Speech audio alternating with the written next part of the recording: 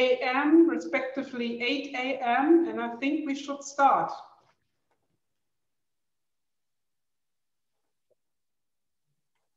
Mrs. Melo, do you give us a sign if we are all online? You have to unmute yourself.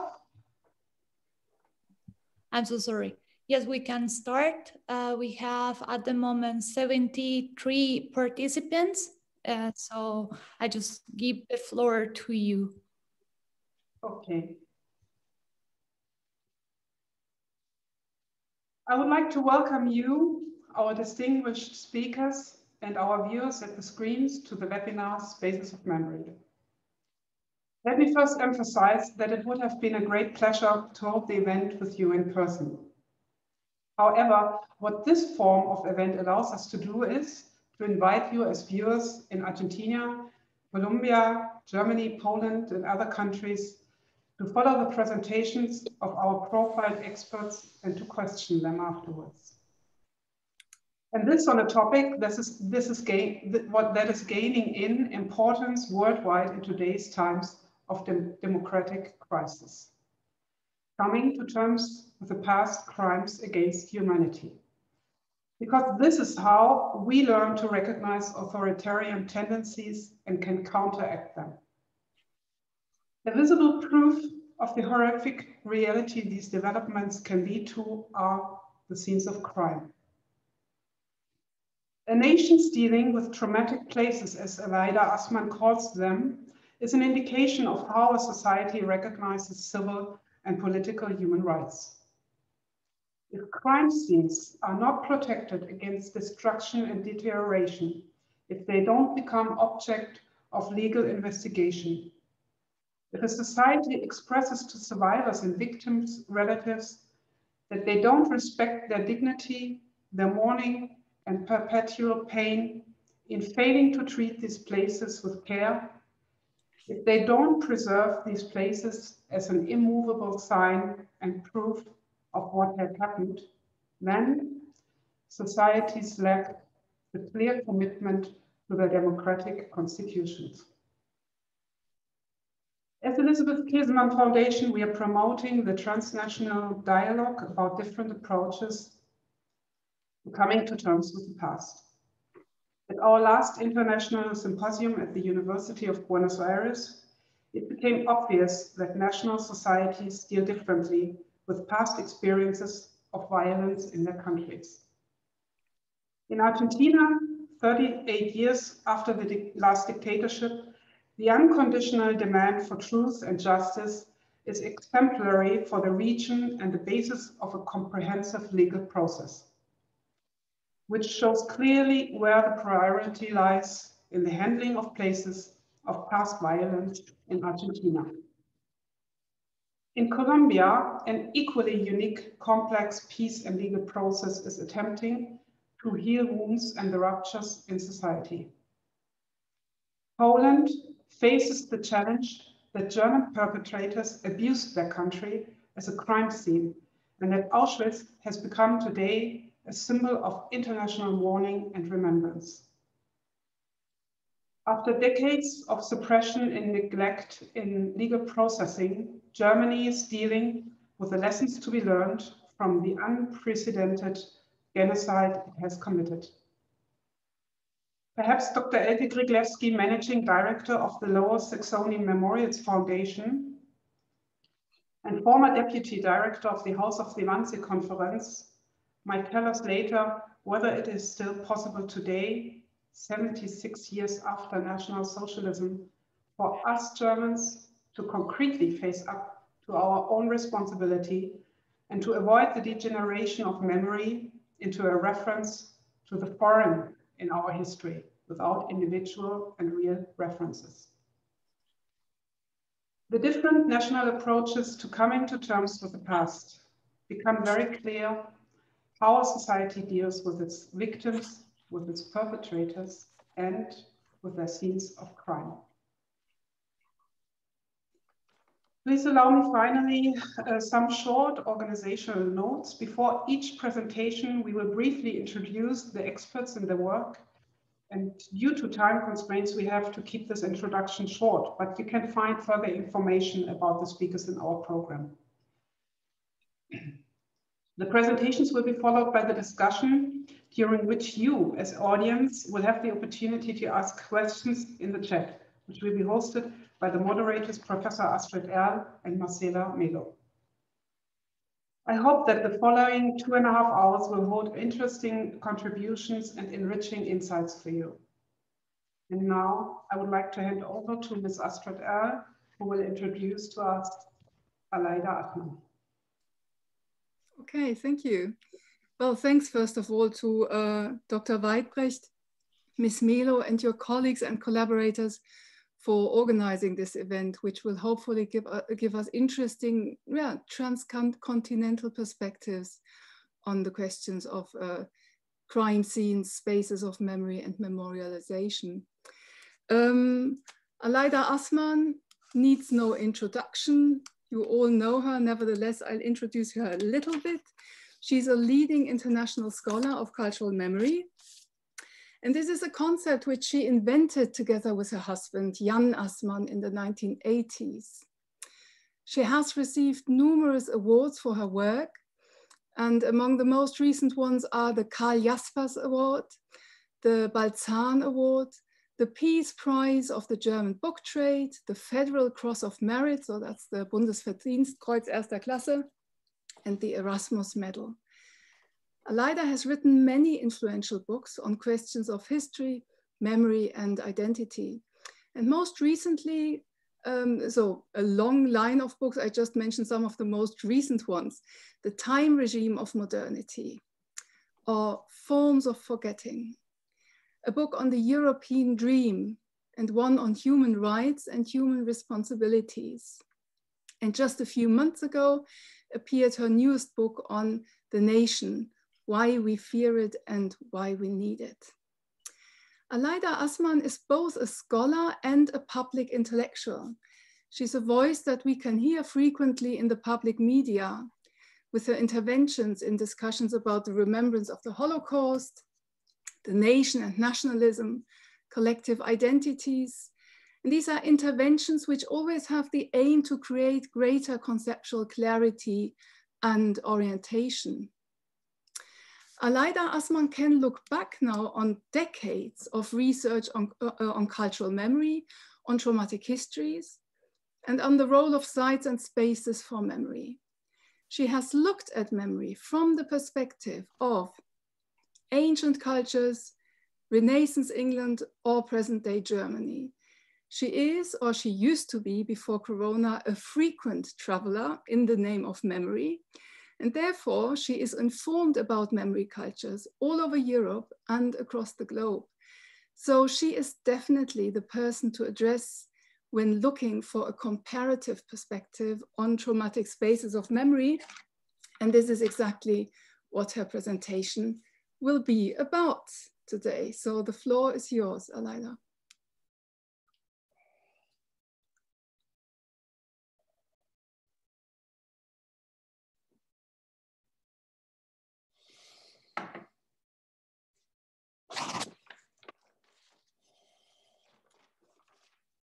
Aleida, you need to unmute.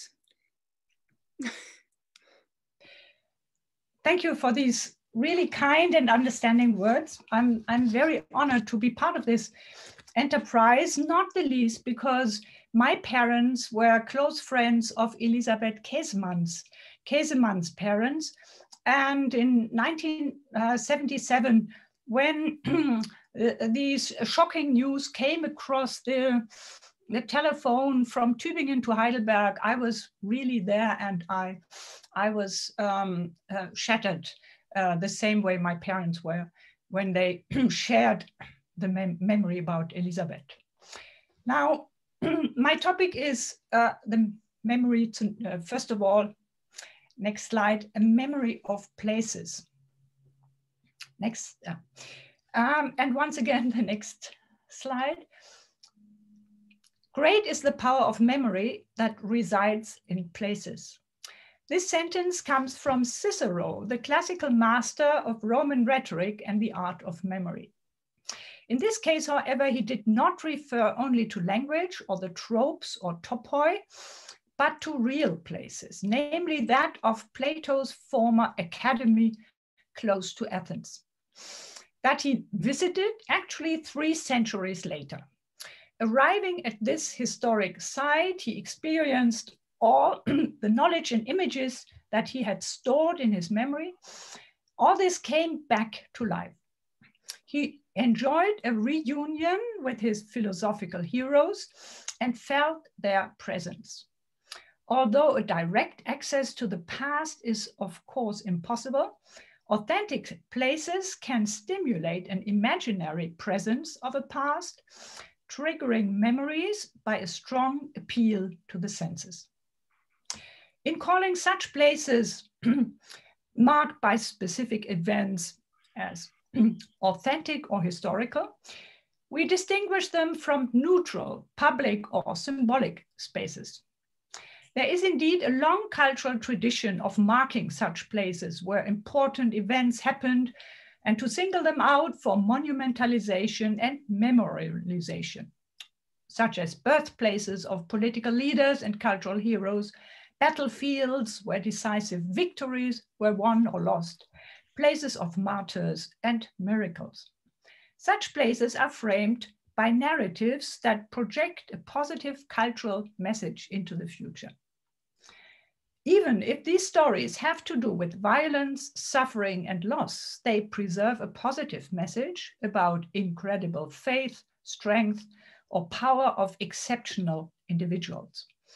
The spatial practices of pilgrimage and tourism arose from the attraction of those sites which were believed to retain a special aura. Next slide. Religious and national uh, memories are soaked with blood and sacrifice, but they are not traumatic because they have a normative quality, are incorporated into a positive self image, and endowed with collective meaning.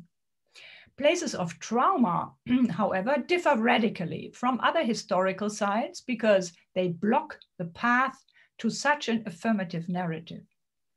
The defining feature of the place of trauma is that the story is not easily told. It is hidden and remains secret and silenced for various reasons. Psychological pressure, power relations, and social taboos prolong this silence that creates a repressive protection shield around such traumatic sites. To distinguish now, next slide, between normative and traumatic sites, we may introduce here Proust's terms uh, voluntary and involuntary memory. While the voluntary projection of memory into the future creates an afterlife in cultural memory, Involuntary memory responds to an unsettling aftermath of traumatic events. This opens up an altogether different dimension of time. the time of trauma has been defined as a past that does not pass. Trauma is a psychic wound and injury in individuals and communities that time cannot heal, dissolve, dissolve, or weaken. It warps time and chronology, leaving a black hole that disrupts the linear flow of time. Instead of disappearing with time, trauma produces periods of latency, after which the past suddenly returns and invades the present with undiminished impact. Next slide, please. In Germany, for example, the traumatic memory of the Holocaust started to resurface only after a period of latency of four to five decades in the 1980s and 90s as the unacknowledged aftermath of the Second World War. It had been given a name already back in the 1960s, namely Holocaust, but it had not yet found a place either in Germany's political system nor in the general consciousness of the society.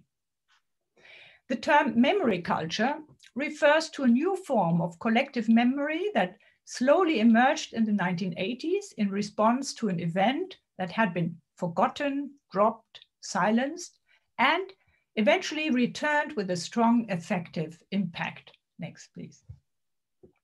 A paradoxical um, sentence often repeated at the time was, the future, the Holocaust recedes into the past, the, the further it recedes into the past, the stronger becomes its impact in the present.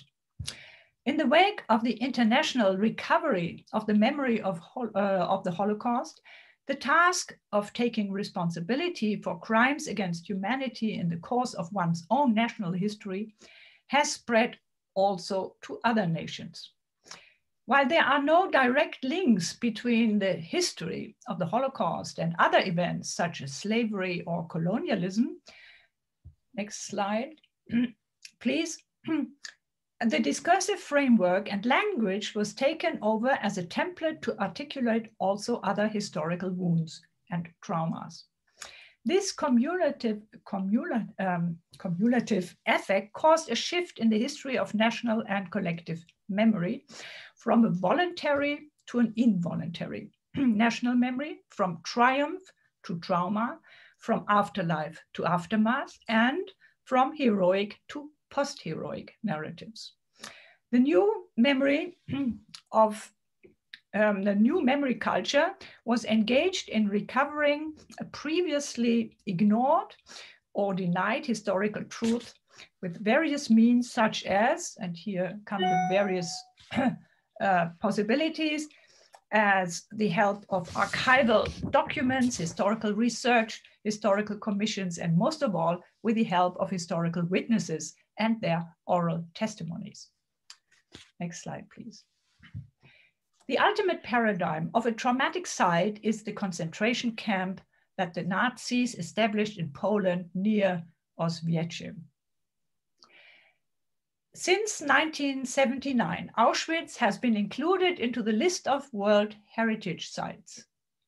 This meant that the term heritage, usually related to voluntary memory and afterlife, now also includes the negative legacy of an infamous side of systemic mass extermination.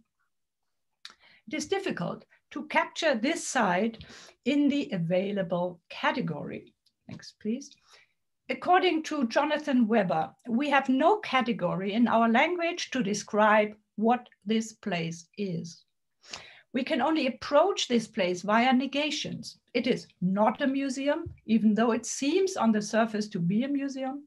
It is not a cemetery, even though it has some features of a cemetery. It is not just a tourist site, even though it is overflowing with tourists. It is all these things at once.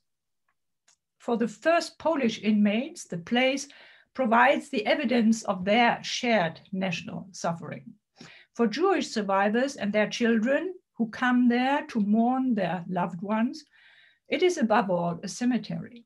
For those who have no personal links to the millions of victims, Auschwitz is principally a museum which presents the crime scene by way of exhibitions and guided tours.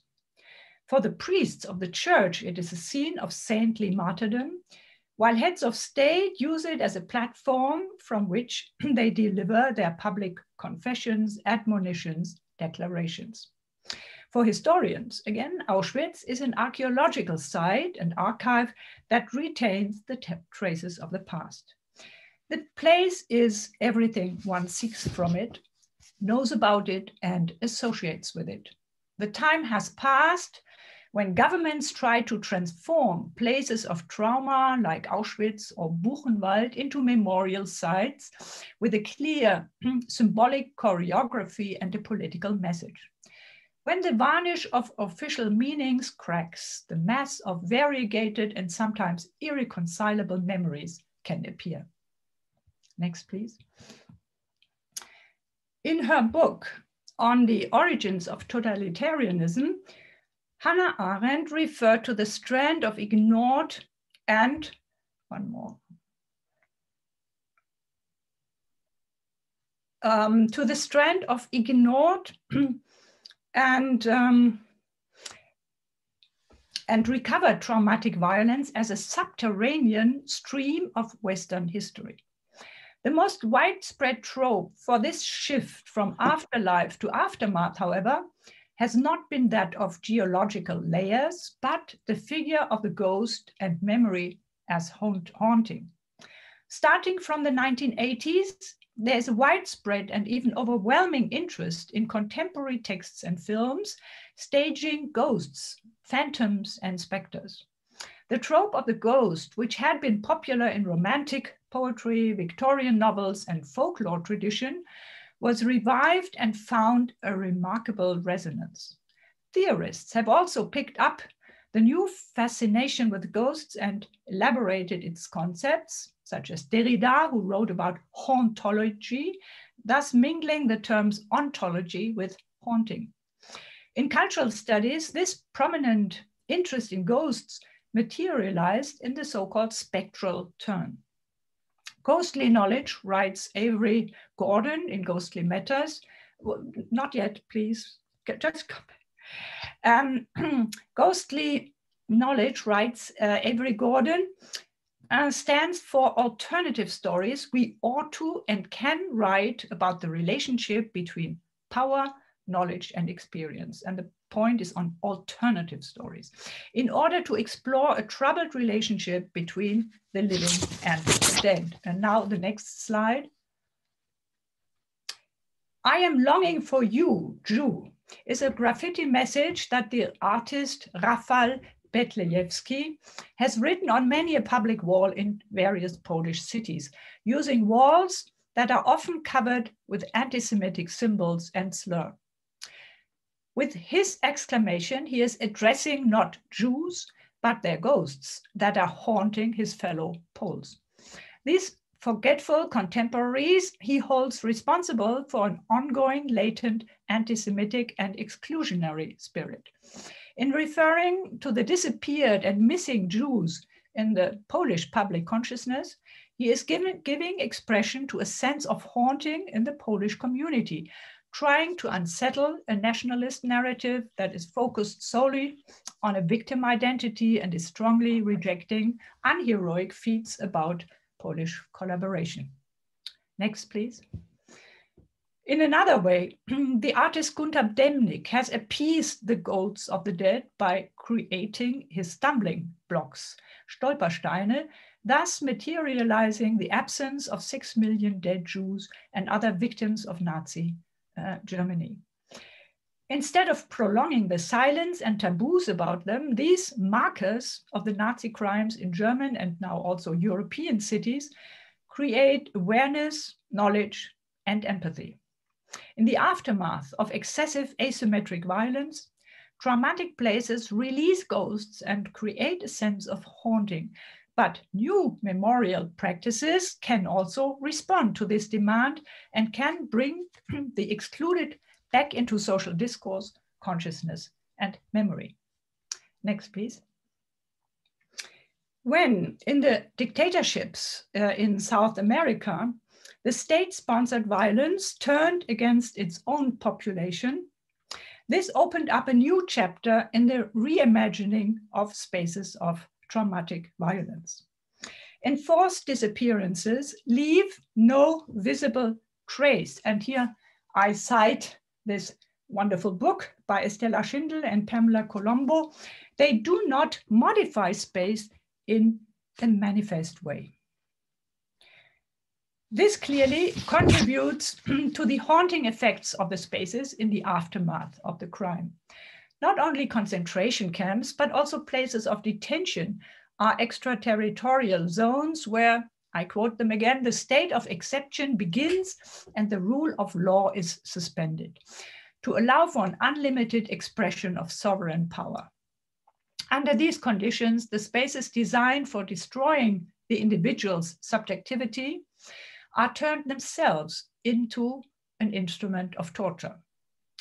No wonder that the figure of the disappeared has been linked to the next please, that the figure of the disappeared has been linked to the trope of the ghost in order to break the repressive silence and to create new imaginative languages of art and practices of memory.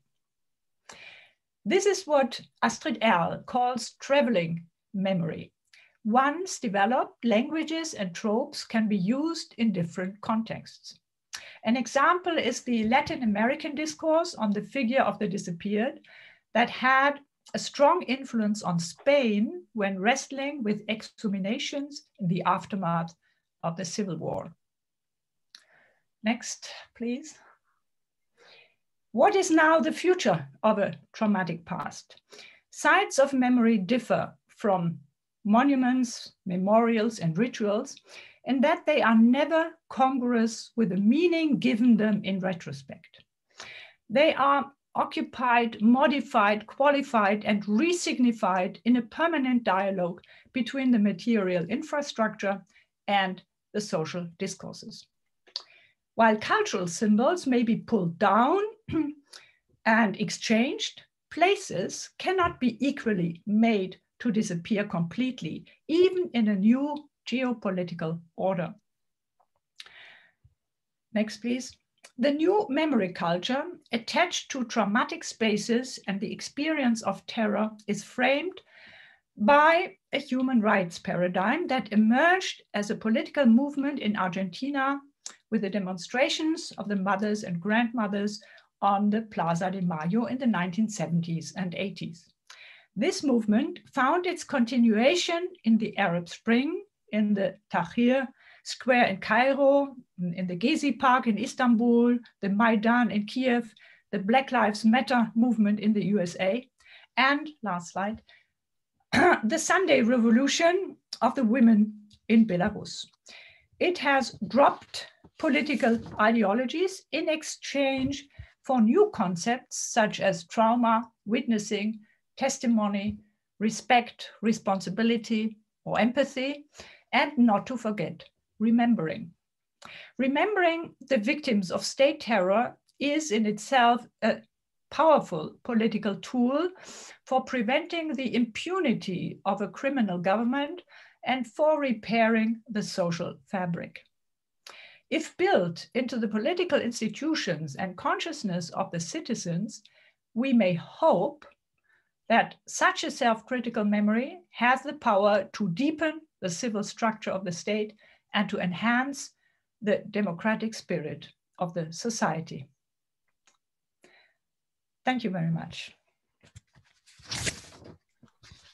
Thank you so much, Aleida. Uh, I, I, give over to Dr. Weidbrecht. You have to unmute yourself.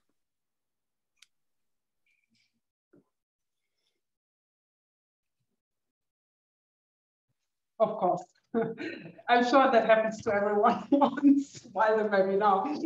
Um, well, um, I would like to thank you as well again, and uh, it was a great overview over uh, the immense um, uh, diverse um, forms of uh, memory culture and memorizing traumatic spaces and places worldwide.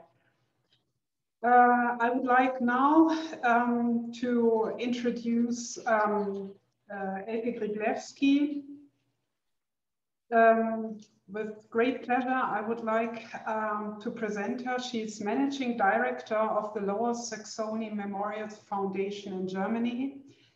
In this position, she's responsible as well for the National Socialist Concentration Camp Bergen-Belsen, in which Anne Frank died uh, before she was deputy director and for many years head of the education department of the memorial site host of the Wannsee Conference in Berlin.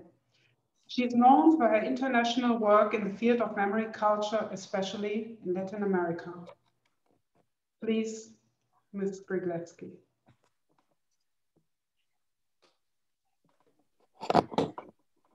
Thank you very much for the invitation and for this kind introduction. Next slide, please. After liberation from German fascism in spring 1945, the survivors of the Nazi camps and Nazi terror swore that never again similar events should take place.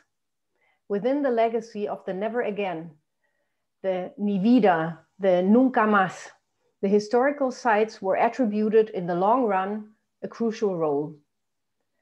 Here, visitors should be confronted with the atrocities be affected by the shocking images, and leave the sites with the inner conviction to never again let these things happen. Directly after the liberation, the Allies followed this idea by forcing the inhabitants of towns and villages in the neighborhood of former concentration camps to visit the sites and witness the piles of dead bodies. Next slide, please. Then the places were forgotten. They were often used as living space for Germans coming from the East, and only the survivors were the ones who, in the beginning or late 40s, beginning of the 50s, started to ask for a creation of memorial sites. In the very beginning, their aim was to commemorate. Next slide, please. When the federal government took over responsibility for these places, and this was in different stages, Dachau 64, Neuengamme 70s, etc. The focus was the suffering of the victims, which in one way in the former concentration camps was logical. On the other hand, crimes seemed to be committed without perpetrators. Next slide. Places where the question of perpetration can't be avoided were established only starting of the late 80s, beginning of the 90s. Before, these places were used for different purposes, ignoring that what it meant for the survivors and their families. Next slide. Today, Germany has a differentiated and diverse landscape of memorial sites. On this map, you can see just big memorial site. Establishing more and more sites, the question of sites as educational places grew more and more, became more and more important. Next slide. In the beginning, the idea again connected to what already the survivors had thought, that this history should never again happen.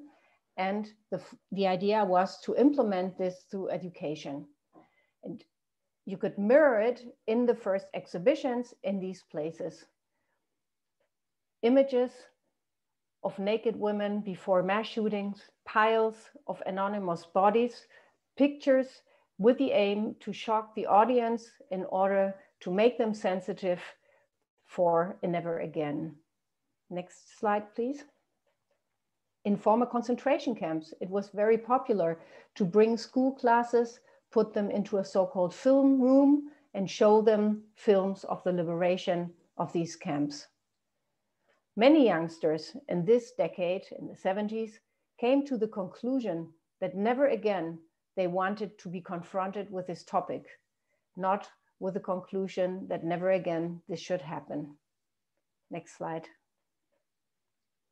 Related to this educational idea that confronting youngsters with shocking images could help education, education, related to this idea was the idea that leaving youngsters, very often it focuses to youngsters, bringing youngsters to memorial sites would change their attitude, for example, to right concerning right-wing ideas.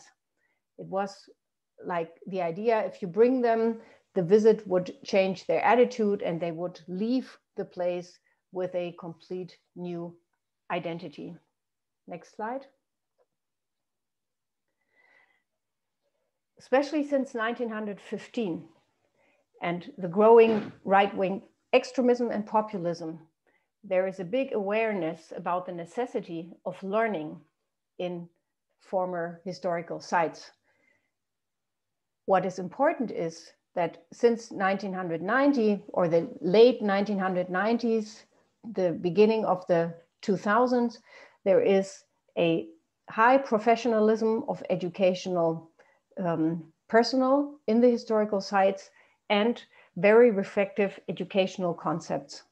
There is a awareness for the growing time gap between the visitors and the historical facts there is a high awareness for the diversity of society and the necessity to relate the history of National Socialism to other historical events, um, there is a high awareness of the need to relate to the living situation of addressees, and there is an awareness for an educational concept through human rights, means indifference to bring groups by force to historical sites, wanting to educate them how to be democratic, there is an awareness that visits to these historical sites have to be organized in a democratic way in order to make the participants feel how democracy feels like.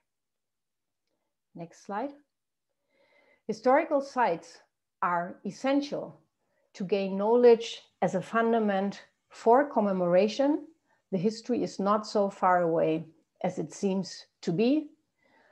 Knowledge is important as a fundament to understand today's structures in politics and society if we want to understand how right-wing extremist groups function, we need to know how they worked in the past and where the continuing lines are.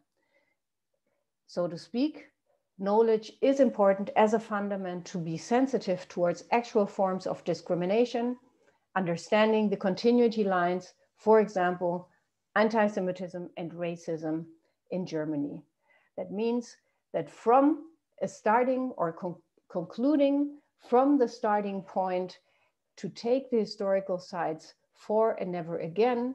Historical sites are today places with a very professional knowledge how to educate about National Socialism and the Holocaust. And if these visits are realized or take place in a professional way, then they can help very much or can contribute very much to a mem remembrance culture. Thank you.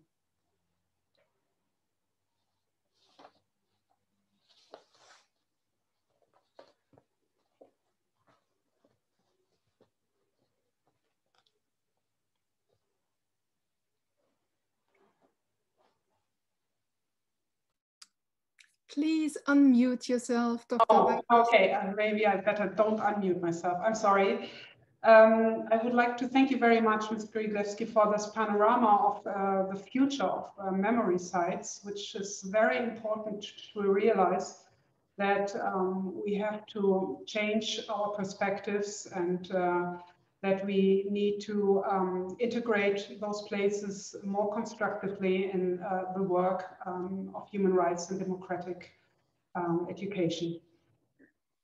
Now I would like um, to welcome um, and um, let me express we are very honored to have uh, a representative of the Auschwitz Museum uh, on board. Um, this is um, Thomas Michaldo. Unfortunately, the deputy director of Auschwitz, Andrei Kacorzyk, uh, is not able to participate today. Yesterday, um, we had the opportunity to exchange with him, um, but unfortunately today he's not, not um, able to participate. But we are looking very forward to the um, to the lecture of Thomas Michaldo. He is head of the department methodology, method, methodology of guiding at the Museum um, and Memorial Auschwitz-Birkenau. He's responsible for cooperation with guides, training and recruitment of guides, as well as for the development of qualification for guides for operating with the museum. Please, Mr. Michaldo. Uh, first of all, thank you very much for the in invitation, and also I would like to thank you, thank to uh, Professor Assmann for introdu introducing uh, some things that I will be relating to during during my short short presentation. Um, first of all, um, I'm asked. I was asked to tell a little bit more uh, on how traumatic spaces spaces like Auschwitz or uh, shaping the transnational memory and, and education. And I will try to focus on uh, two main things uh, today. The first thing would be how Auschwitz Memorial is able to shape the, um, uh, the memory of the, the Holocaust and of, of Auschwitz in today's Poland. And I will talk a little bit more about some worrying trends in the Polish society in uh, relation of, of the memory of, of Auschwitz and, and the Holocaust. Uh, and uh, on the other hand, I will try to at least mark some uh, interesting trends that are also happening in, in Polish society towards the, the relationship uh, between uh, Poles or Poland and Germany and, and Israel, all with connect with the connection with the, uh, with the memory and, and, and the history of Auschwitz and, and the Holocaust. And uh, the first uh, remark or uh, is that um, most of the views that I, I, will be bringing here during the, the, the lecture are the views of really uh, right-wing extreme movements, but unfortunately many of these views come also to the mainstream and many uh, people from, let's say, the moderate par part of the society also adopt this, this, these views. And unfortunately, as, as I mentioned, some of them are uh, really present also in the, in the discourse uh, uh, of the main, mainstream. Uh, as it was already already said here, uh, Auschwitz Memorial can be seen as uh, quite a unique place as it was created, opened as, as a museum, whether we can call it museum or, or, not, but it was opened already in 1947. So we do stress the uniqueness of the place by saying that uh, uh, it is mostly authentic, similarly to, to Majdanek. and it is very, very important for, for us to show and stress uh, stress uh, this to our, our visitors. Um, Auschwitz also became uh, quite early the, the symbol of, of the Holocaust. Uh, first of all, we think because of its authenticity. Second, also because of the number of the uh, of the survivors who survived Auschwitz and, and Birkenau. And uh, as we know, at some point, their narrative on, on the Holocaust, in fact, become also kind of a narrative uh, uh, uh, their narrative on, on Auschwitz became the narrative of, of the Holocaust. And for, for many years, the narrative on, of Auschwitz was in fact equal to the narrative of, of, of the Holocaust, which changed only, only, only later.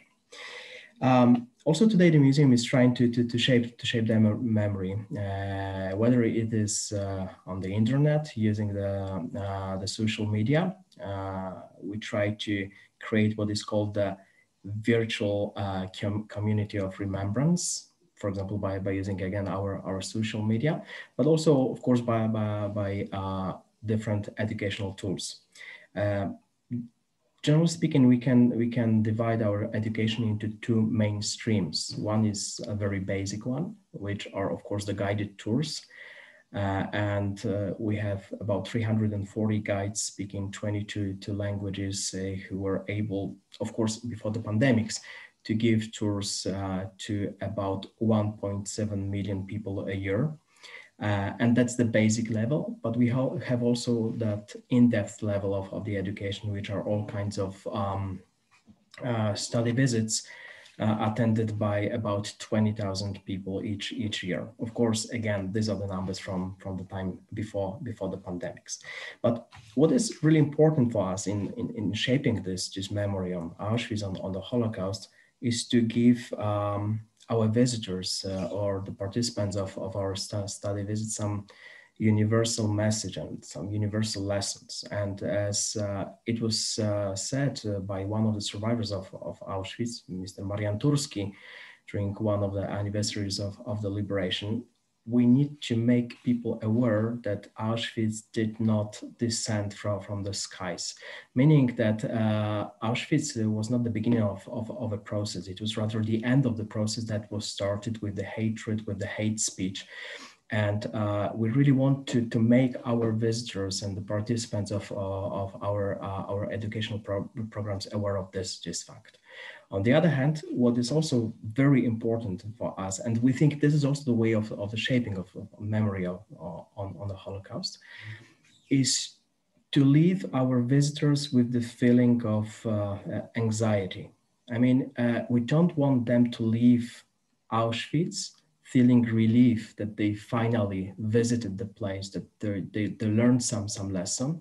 We rather want them to feel uh, a bit uncomfortable and we want them to, to look around uh, their micro world and, and to, to, to, to check if uh, something wrong is not happening uh, around them. Because uh, as we know, uh, it is in fact essential to react when we see that the evil is happening uh, around us. And we also know that, for example, all the international institutions, like for example, the UN, um, can of course condemn uh, genocides that are happening. Uh, we have a very good example in, in Burma, Myanmar, uh, just a few, few years ago.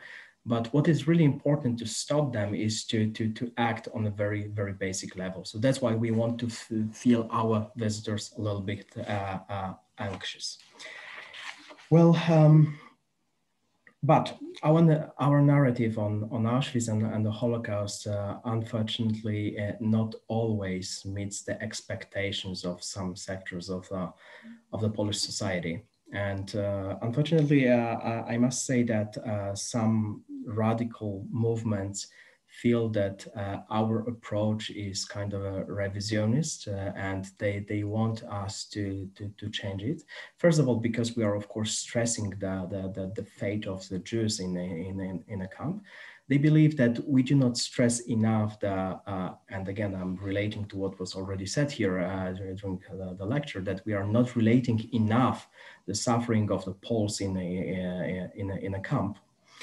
Uh, and because of that, um, more or less for the last four or five years, uh, the museum is, uh, is, is been, been attacked by, uh, again, all the um, uh, radical movements. Still, again, as I, as I mentioned before, also some more moderate par parts of the society take the same, the same narrative towards, uh, towards Auschwitz. Um, Auschwitz, of course, uh, shapes the memory in terms also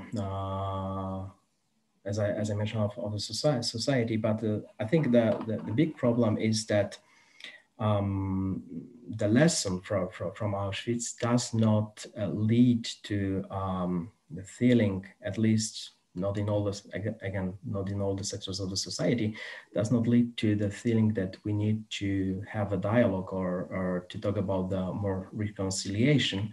But for example, in case of the relations with, with Germany, it's more and more raised that first uh, the German state, today's German state, needs to uh, uh, make some uh, financial fulfillments for, for, for, for Poland, for, for the crimes committed by the Nazi regime. And then only after that, we can talk about the reconciliation and, and to have some, some dialogue. And this is uh, unfortunately this, this worrying trends that had started few years ago. I mean, it was of course present in uh, in um, in the narrative of the, the, the radical movements, but still it was not in, in, in, the mainstream. Today, unfortunately, this is part of what is even expressed by the, by the politicians. Um, also, when it comes to the politics and the, and the politicians, uh, we've experienced in uh, the recent years that uh, many politicians come to, to the museum, to, to, to Auschwitz, I'm of course talking about Pol Polish politicians uh, uh, mostly, um, just to show uh, to their supporters the, the, their patriotism and somehow to, to, to show that uh, they're trying to protect the museum from the external uh, influences uh, they do not express it officially, but of course those external in influences uh, are the Jewish or German uh, German influences. So this is a, this is, these are quite a common common trends in uh, in in Poland, uh, unfortunately. it leads to to the collision of the memories uh, with uh, Germany and, and, and Israel. I do not have time to elaborate it in more right right now, but I just want to uh talk a little bit about Germany. Just a few words about uh, about Israel. Uh, we have a big tensions right now.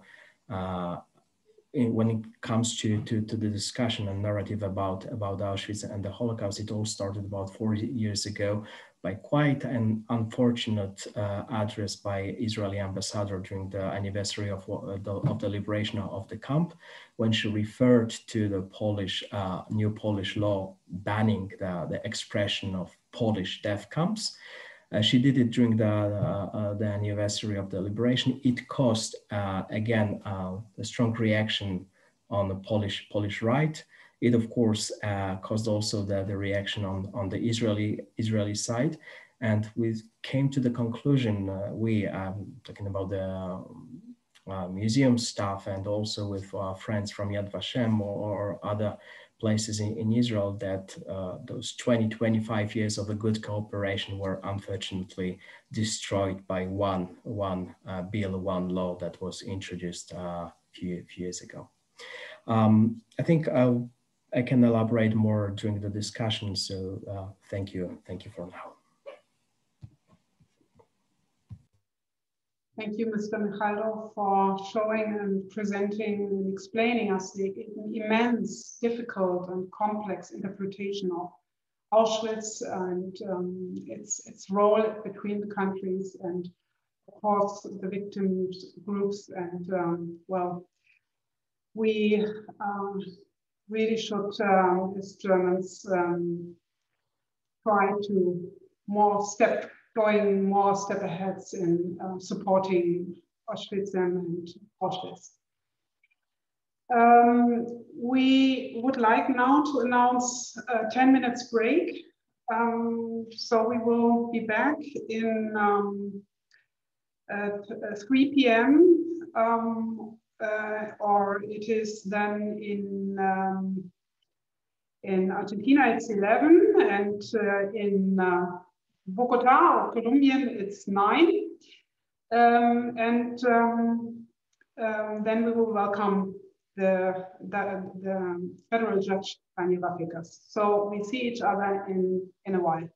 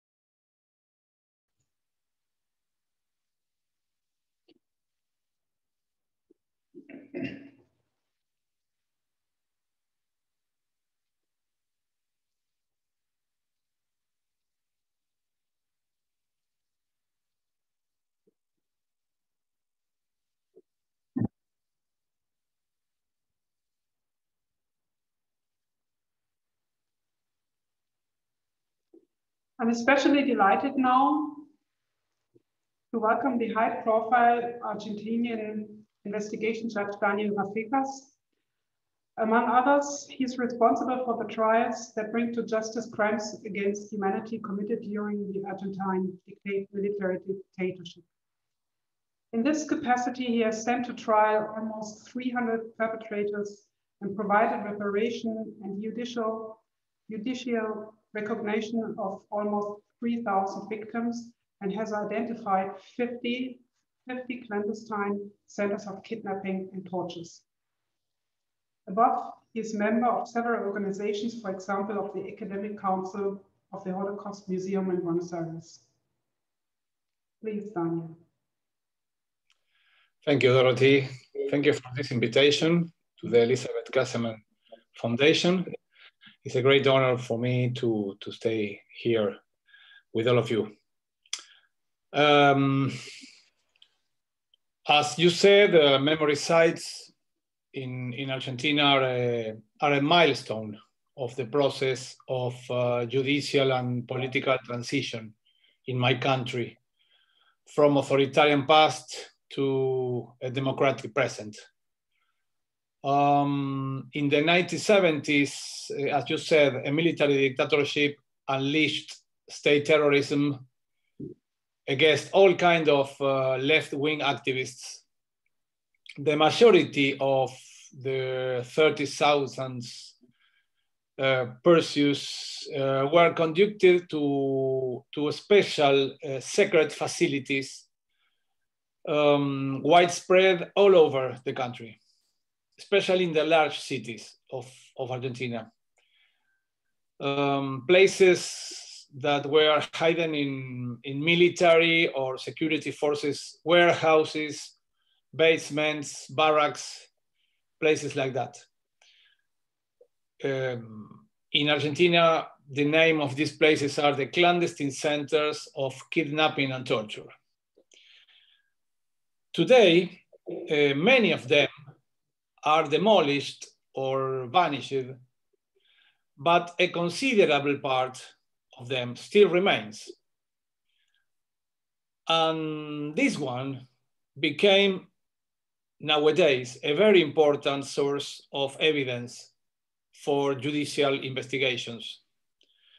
Not only to confirm the, the statements of witnesses and survivors about their existence, but also because we learned that if the survivor of, the, of this clandestine center is able to return to the place, because this is absolutely depend on the will of the witness. If he is able to, to return to, to the place when he was kidnapped and tortured or raped. But he, if he has this will, uh, for us as, a, as court is very important. Um, when, when he walks along the rooms, uh, he, he is in condition to remember more details and episodes to, strength, to strengthen his testimony. Um, this certainty increases if victims do this in group. We learned that if we invited two or three or four or five of them as a group, and we invited to to return to the place where where they were uh, tortured, they help each other to, to remember. And all this information is very, very, very important to, to our investigation. Uh, their interaction trigger rememberings and truth emerges with, with uh, very, very concept, consistently. Also, it's interesting that uh, this kind of initiatives helps to the, to the moral reparation of victims, since they return to these places with the support of the state, with the companion of, of prosecutors, with the companion of judges. Um, we, we learn as public functionaries that the victims made his way to a special, a special uh, way to, to, a, to a moral reparation. When he returns, when, when they returns to these places with the companion of the state. Therefore, clandestine centers in Argentina became a key issue in justice and truth process. And at the same time, they became centers of memory, of course, where new generations gathers to learn about the recently past of mass violence. In conclusion, memory sites contributes in our experience, not only to justice process, to justice process and the seek of truth, but also to moral reparation, and finally to memory work. And as an example of this, interac this interaction in between justice process with memory work, in this last month, my court is holding a, a, kind of mediation among the Buenos Aires city mayor and the functionaries of the city with or in a discussion with a collective of victims of another clandestine centers, clandestine center named Club Atletico. And the court is in the, in the, in the position of mediation in between the city mayor and the victims. Be why? Because this clandestine center remains completely buried under 5 million of, um, of cubic centimeters of soil, completely buried, product of the construction of a highway as a result, um, uh, because in the place where this clandestine center functioned was removed and a highway was built there. As a result of these negotiations, the city last month assumed the compromise at court of eradicate this huge obstacle. And next July, will begin the work of removing the soil in order to discover and recover this clandestine center. In addition, the city also took the compromise of build a memory center nearby because we have the expectation that the clandestine centers who was built in a basement, in a police center basement, will emerge intact. So for the city will be a very important place for conducting their youngsters and in, in, is, is, is located in the south of the city.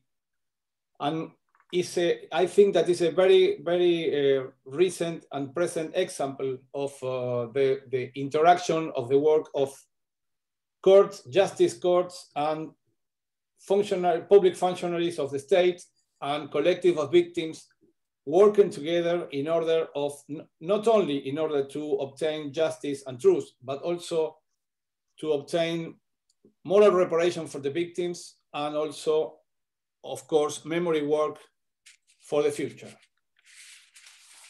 That's, that's all. Thank you.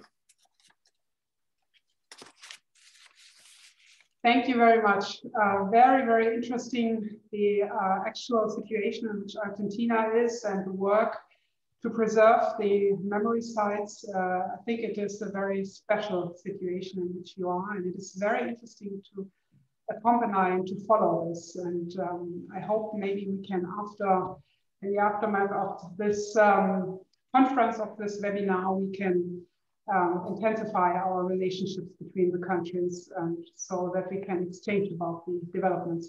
Now I would like to hand over to Thomas Fischer, who will present. Um, yes, it's uh, now my great pleasure to introduce Tatjana Louis. She is the author of our next talk. She is an associate professor of Universidad de los Andes in Bogota, which is the capital of Colombia. She uh, works at the language and culture department of uh, this university, and she has acquired a PhD in history. So she is a historian. And she did that at the University of Cologne. And uh, this PhD was about identities, identity construction of displaced persons in Colombia. Some of you might remember that within Colombia, there have been more than 8 million displaced persons. So what she did was research and empirical research, and in particular, she did research with the method of oral history. So she is one of the these uh, persons who have addressed this difficult task to reconcile memory theory and practice. She put it into practice with this particular and very important method. Um, currently, she is working about the impact of memory work within the Colombian education community. So now I would like to give you, um, well, the opportunity to explain what your the meaning of your title, which is Traumatic Spaces of the Colombian Armed Conflict. Thank you very much, Thomas, for this very kind introduction. And thank you very much, Dorothea Weitbrecht, for the invitation to this webinar. I hope you are already seeing my screen. Um, if you could just confirm that you're seeing my, my screen. Yeah, okay, great. Thank you very much. Yeah, so um, yes, I am going to talk about traumatic spaces of the Colombian armed conflict, and I uh, called my presentation Too Many, Too Close, Too Far Away. Um, my first reaction to the proposal of talking about topographic Colombian memory spaces was, we don't have such thing. This, of course, is not true we do have memory spaces. After more than 70 years of an ongoing internal armed conflict, the country is full of memory spaces. But still, my guess is that a considerable number of Colombians would, when asked, give the very same answer that came into my mind. Obviously, we have here an indicator that the situation is a bit complicated. And this is what I am going to talk about during the next 10 minutes, why the situation is complicated, how it is complicated, and what are the consequences for the societies coming to terms with the past. Uh, yeah. In the panorama of dealing with the past, Colombia is a special case. Usually, a confrontation with the past sets in after a conflictual or traumatic period has ended. In fact, quite some time can pass before a society is ready to come to terms with the traumas of the past. In Colombia, however, we are still dealing with an active conflict. Although the world's longest internal armed conflict came to a much celebrated peace agreement in 2016, with the country's largest guerrilla group, the FARC, laying down its arms, Colombia is still in the midst of a conflict. There are still active armed groups. The number of victims registered with the state-run victims unit is rising daily and currently stands around 9 million people. However, the process of dealing with the past began already in 2005 with the Law of Justice and Peace, under which paramilitary groups demobilized and the National Center for Historical Memory has its origins. In 2011, with the Victims' Law, the state recognized its duty of remembrance and set victims' right to truth, symbolic reparation, and the guarantee of no repetition. To my knowledge, Colombia is the only case in which a traumatic past was not dealt with after the end, but during the conflict. And this means that the past is not a past. To many Colombians, it is a very painful present and immediate future. the number of potential sites of memory actually can expand daily. And who would know if there isn't going to be an important event in the future with the potential to stand symbolically for the conflict and the suffering of the victims. The map you're seeing here shows the places of massacres. Apart from the number of events, this map shows another aspect of the conflict. It is decentralized. Most of these events occur in remote rural regions that are poorly connected to the general infrastructure. It is difficult to reach them and the security situation often makes it inadvisable to travel there. However, Despite the still ongoing violence, a lot of work has already been done at different levels. As early as 2008, the National Center for Historical Memory started to publish report on so-called emblematic cases of, of human rights crimes with a careful research on the reasons and development of the conflict. More than 100 reports have been published since and are available as free downloads on the center's website. In 2015, the Colombian Network of Memory Spaces was founded. It includes 30 sites of memory, of which three are state-run, and the rest is supported by the different communities. Although the network has only been in existence for five years, some of the individual initiatives are much older and can look back on more than 20 years of work. Now it is necessary to point out that most of these sites are not the authentic place where a massacre or displacement has occurred. In fact, the network makes a distinction between representative sites and testimonial sites. Representative sites, which are, as you can see, the vast majority, are usually buildings or monuments erected to provide space for the commemoration of the conflict, to exhibit the history of the conflict, or to provide a meeting place for commemorative initiatives. They don't refer necessarily to a specific event, but to the violent history in general that can be caused by the guerrilla, the paramilitaries, drug dealers, common criminality, or the state. Testimonial sites can be the authentic place where a massacre took place, but mostly they refer to places where testimonies of a specific event are archived. Um, let's now take a brief look at two of these testimonial sites, Bojayá and El Salado. Both cases are well-known cases that were investigated by the National Center for Historical Memory as early as 2009. In El Salado, between 80 and 100 people were killed by the paramilitaries over several days in 2000. Many of these killings took place on the sports field in front of the church. The massacre was followed by a massive displacement of villagers. Two years later, the first returned to clean and reconstruct their village. In 2007, a monument to the victims was erected over the largest mass grave.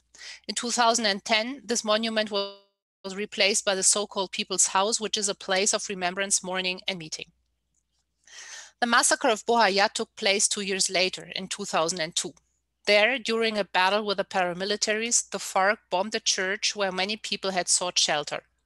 At least 79 people died, 40 of them children. Here too, massive displacement were the result of the fire. However, a large part of the population returned already four months later, not because the situation had improved, but because they could not make a living outside. In 2003, Augustinian nuns began rebuilding the church. The roof and walls were repaired. The floor, however, remained unchanged at the request of the victims' families. After the massacre, the survivors had been forced by the FARC to bury their dead in mass grave. It, was not, it wasn't until 2019 that it was possible to give the dead a proper burial. I believe Bojayá and El Salado are representative of many memory sites in Colombia. They are, despite the hesitant beginnings, part of the state's policy of remembrance and reparation. They have been investigated as emblematic cases by the Center for Historical Memory. In this way, they are intended to contribute to the clarification of the past and the construction of a historical memory of the conflict, as well as to the symbolic reparation of the victims. However, state aid did not come easily. The Colombian state had to be ordered in part by the court to acknowledge its responsibility. In both cases, there is an interaction between the demands of the affected communities for satisfaction and reparation and state activities such as the intervention of the National Center for Historical Memory. For the development of the place, on the one hand, a community is needed that intervenes and is involved. But on the other hand, the state has to provide the social conditions that make such a development possible. Bojayá and El Salado differ from other places of memory because in both cases, the place itself plays a role. The floor in the church in Bojayá and the site of the largest mass grave in El Salado, in, in, in El Salado. In many other memory spaces, the symbolic meaning and function are transferred to another, more central place. Because here, in the place itself, lies a limitation of the social impact it could have. Both Bojayá and El Salado are located far from urban centers in areas where the security situation is still not safe. Thus, they remain places of identification primarily, perhaps even exclusively, for the affected communities. This perhaps explains why representative memorial sites have a stronger presence than testimonial sites. It also points to the objective of the memory work in Colombia, which at the moment is less about the preservation of a place, but about the restoration of social fabric. The destruction of social ties, the uprooting of entire villages from their ancestral territories, the loss of cultural practices are among the strongly felt social consequences of the conflict. Memory spaces should therefore be spaces where one can grieve, heal, reappropriate cultural knowledge and practices, meet others to collaboratively construct the history of the community and the territory. These do not have to be historical places. In fact, any safe place is suitable. Moreover, if this work is to have an overall social significance, then precisely because the conflict is decentralized and in remote areas, the memory spaces must come to the people.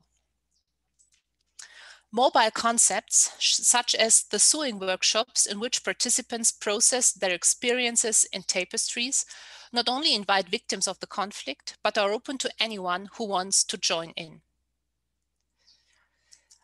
Another example is the Museo Itinerante de los Montes de Maria. It is a mobile construction that comes to urban centers as a traveling exhibition, a concept that, by the way, the National Memor Memorial Museum has also adopted at least as long as there is no museum building. These initiatives receive a lot of attention, more than El Salado and Bojayá. At this moment, I believe that memory sites in Colombia face a triple challenge. First, there are too many, and the list is not even finished because the conflict has not ended. Second, there is a lack of temporal distance that would make it possible to decide which sites are particularly suitable for developing a potential for reconciliation of the fragmented society. Third, the historical sites are often remote areas and they are not safe. It is questionable whether at this point in time, people from Bogota or Medellin would be willing to travel to Bojayá, for example.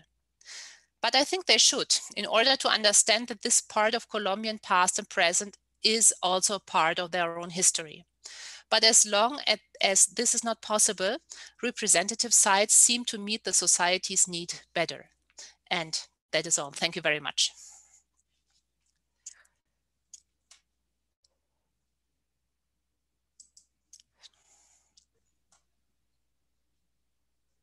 Thank you very much, Louis. Another example of um, an actual struggle to preserve sites. Um, at the first place for the mourning and um, like like a like a graveyard, I guess, um, for the people, for the victims, relatives, and uh, for the for survivors. Um, I would like to um, go in another break for 10 minutes to open afterwards then the discussion and the floor for Ms. L.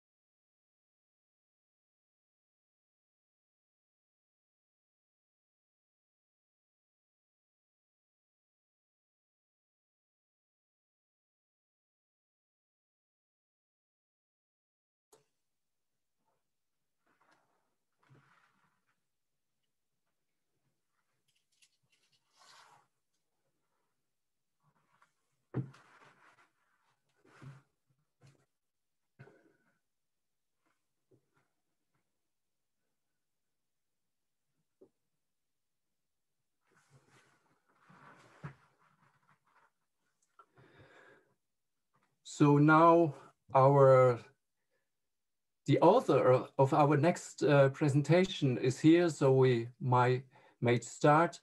Um, I'm delighted to present Astrid Erll. Astrid Erll is professor of Anglophone literatures and cultures at Goethe University of Frankfurt am Main. Her uh, research is very broad and it's about German, British, South Asian, US American and South American literatures and media cultures.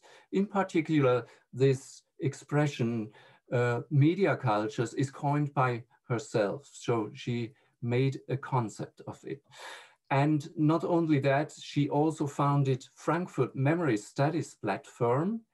And uh, she has um, brought to us a myriad of publications. And I just want to mention one of the last ones, which is about cultural memory after the transnational turn. This has something to do with our conference. So Astrid, it's now to you. Thank you very much. So, hi everybody. Uh, my task is now for something around an hour. We have time really to have a um, discussion also with those who have been watching and listening so far. Um, it would be nice if you uh, put your questions into the Q&A or just raise hand via the Q and I by just uh, giving your name and perhaps sort of indicating the topic. Depending on how many questions we get, uh, Marcella Melo will help me uh, sifting through them and uh, finding those which uh, fit well with the current discussion. Before we start, let me quickly remind you, and probably also those who, who could only come in later, we had a great program so far.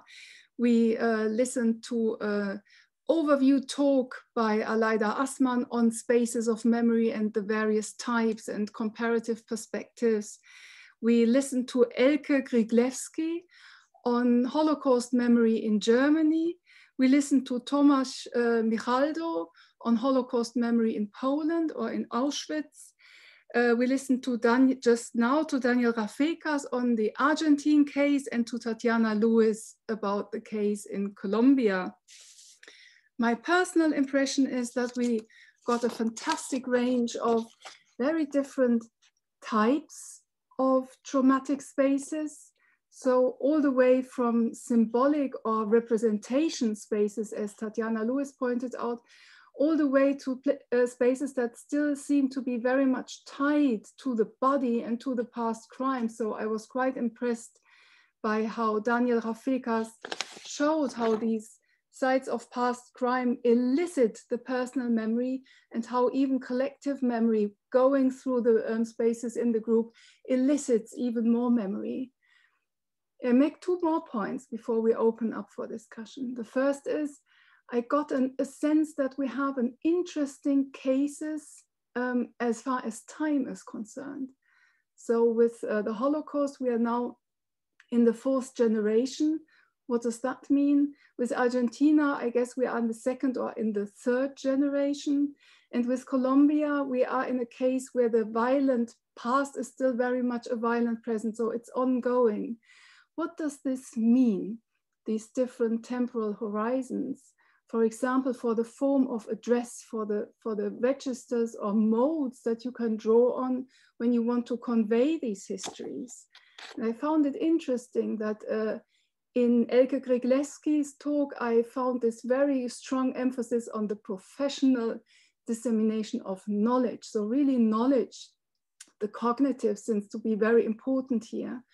Uh, Tomasz on the other hand, highlighted that he wanted to uh, visitors to move away with a certain feeling, and that's a feeling of anxiety. So what role does the cognitive, the emotional play? What role does empathy play? And I think another leitmotif that I heard again and again is the role of youngsters or youth. So the big question of how to convey these pasts of violent sites uh, to a future generation, to young people in societies that are all, if not transitional societies in the strict sense, they are all transforming societies. Germany, of course, as well, transforming into a more diverse society, a more multicultural society, as Elke Gryglewski pointed out. So this is basically my little insight of uh, what kind of uh, brought these uh, presentations together. And uh, let's have a look at what people have come up with. Um, so, and there are not so many, I think we can really just go the way they came in. First of all, two questions to Aleida Assmann. The first is a very practical one. That book which you showed, could you show it again and tell us who the author is? And this, I, I come back, I already say the second question because then you can unmute yourself. And there's a question by uh, Sugania from India who is asking, what about literary narratives or novels? Are they equivalent to historical sites in representing the traumatic past? Um, or are novels becoming obsolete the, uh, in, in narrating the trauma of the past? And perhaps we can even widen this question to more general questions of what, what's the relation to diverse kinds of media representations of the past? Okay, um, thank you very much, Astrid, uh, for these first uh, questions, but also for the very concise summary. I think that that is very helpful as a kind of compass for our discussion. And now I, I would like really to advertise this book uh, because I learned a lot uh, from the two authors. It's uh, Estela Schindel and Pamela, Pamela Colombo, and the title is Space and the Memories of Violence. And it goes back to a conference that was, oops, the, I'll have to play with the background in order to make not make it disappear. This is the book. Uh, it was also in Palgrave uh, Memory Studies, and um, it really addresses the topic of of our uh, webinar webinar in a in a very effective way, and it is also comparative, especially uh, also related to uh, to Spain, but starting from Argentina and, and, and other places and also including um, Germany, uh, for instance. So it is uh, to be recommended. Um, the other uh, question I, I, find very important because it refers us to um, dimension that we haven't really covered uh, today yet. Uh, perhaps if I may give you my uh, way of um, um, organizing the topics, I think we are uh, involving involved here with uh, truth. That is uh, the domain of historians um, and the investigation of historians. then with law, which has to do also with investigation, of course, but um, in order to be brought to um, to law and to justice. And I think this is exactly also where the victims have to be located because they um, are the ones uh, to um, who are uh, asking for compensation compensation here. And the third dimension uh, was so far the society, namely the question: uh, What about those who live in this um, um country, and how do they uh, remember, especially if they come after the, the following generation. But culture was not really our, our topic here. And I think that's very important. Uh, and what you just asked, um, literary narratives, how can they be part of this whole uh, story? I think uh, they're very important. And the interesting thing for me is that literary and historical novels have fused uh, during the last, uh, in the last decade.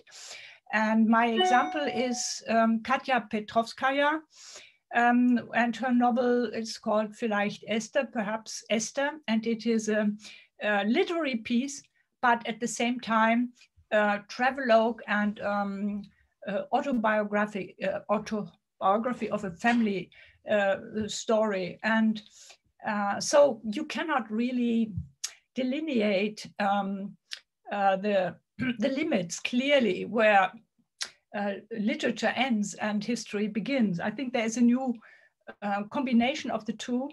And um, this is a development that I find very interesting. Very good, thank you.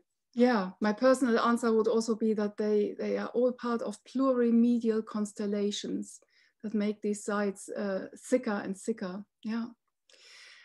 You know, I here's an anonymous question, but I think that might open up something very important, and that is a conversation among the panelists themselves. So I go on with that. There's a question of, is there any interaction or collaboration between the countries, between Auschwitz, Argentina, Colombia?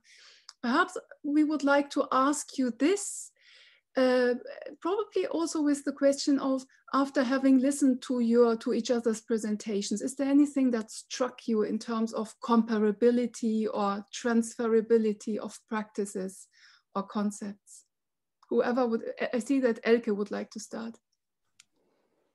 I think that, uh, first of all, a, a, a, communication between the countries is very important because no country, no, nor Germany, nor Argentina, nor Poland came to a point where we could say we are done. All of us are still in a process of learning and the international exchange is extremely important to learn, to continue learning um, about how we can deal in a productive way with our violent past. The second point is why I think um, cooperation is so very important is because there is a connection between the countries. There is a connection if you just if just to mention uh, all the former Nazis that went to Argentina after 45 to imagine um, the immigration restrictions against Jewish immigrants in the 1930s so it's, I think, also due to the fact that we're speaking about a globalized society in world, it is important to look on this history not in a national perspective, but in a global um, relation and the connections that exist between all the countries. Thank you so much. What about the other panelists? Is there anything that you would, Tatjana? Thank you. Um, what uh, Mrs. Gryglewski just said, I, I, think it is very important. And I think it is very important for the Colombian case, the fact that we never stop dealing with the past. Um, as we are so close in Colombia to everything that has happened and is still happening, um, we see some kind of a hurry of getting onto these things. And uh, sometimes I even have the impression that uh, in the whole panorama of transitional justice, we have some kind of checklist where we check things. We check the uh, Memorial Museum, we check uh, the National Center for Historical Memory. But um, the understanding that memory processes are process are long-term processes and are processes that have to come from the society that cannot be uh, imposed by uh, by governments or uh, by uh, politics that that come from from above. Um, I think this is a um, something very important to learn and something very important to have in mind that in Colombia, we are only starting a process, a process that is going to take generations um, yeah, to, to come to terms with the past. And I think this is a very important message, uh, despite the very individual difference between the processes between different countries. Yeah, yeah, thank you. Very right long-term processes. What else? I think Aleida would like to say something.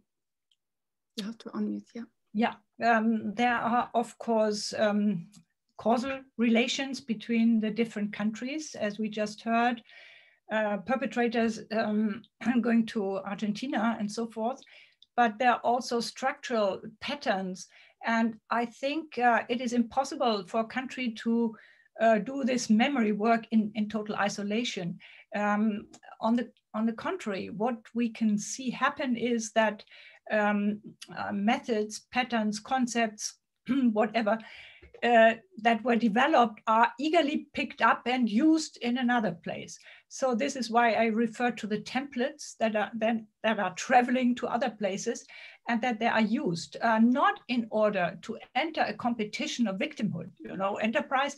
This is not the case at all, but to lend a language and uh, symbolic forms in order to express something that had been inexpressible for so long, or to uh, gain attention, which is also very important, not just on a national, but also on a global level. So I think the interaction, the transnational um, and even uh, global attention to these things is, is very important and uh, has repercussions in the country.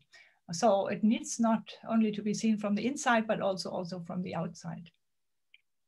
A short remark, uh, please allow. Um, that we received just a question if um, Spanish questions are as well, um, if the um, if the uh, discussion is open for Spanish questions, of course, of course, please.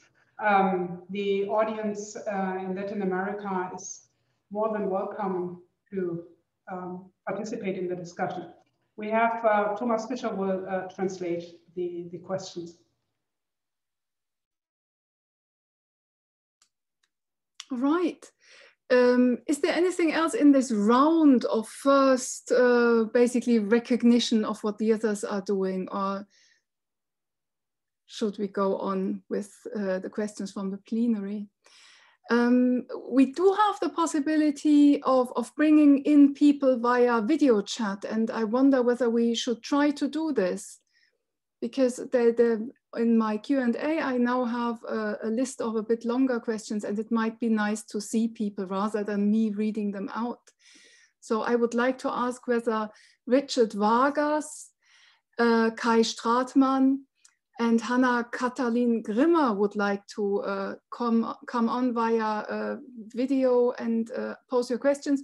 Please do remember that, that you ideally um, articulate them shortly so that we have short questions, short answers, so that many people have the possibility to come in. I can see, ah, Richard Vargas, can you, would you like to, to ask your question then? Yes, can can you listen to me? Super, yeah. Okay, perfect. Uh, first of all, thank you very much for very for this very interesting presentation. I really like it.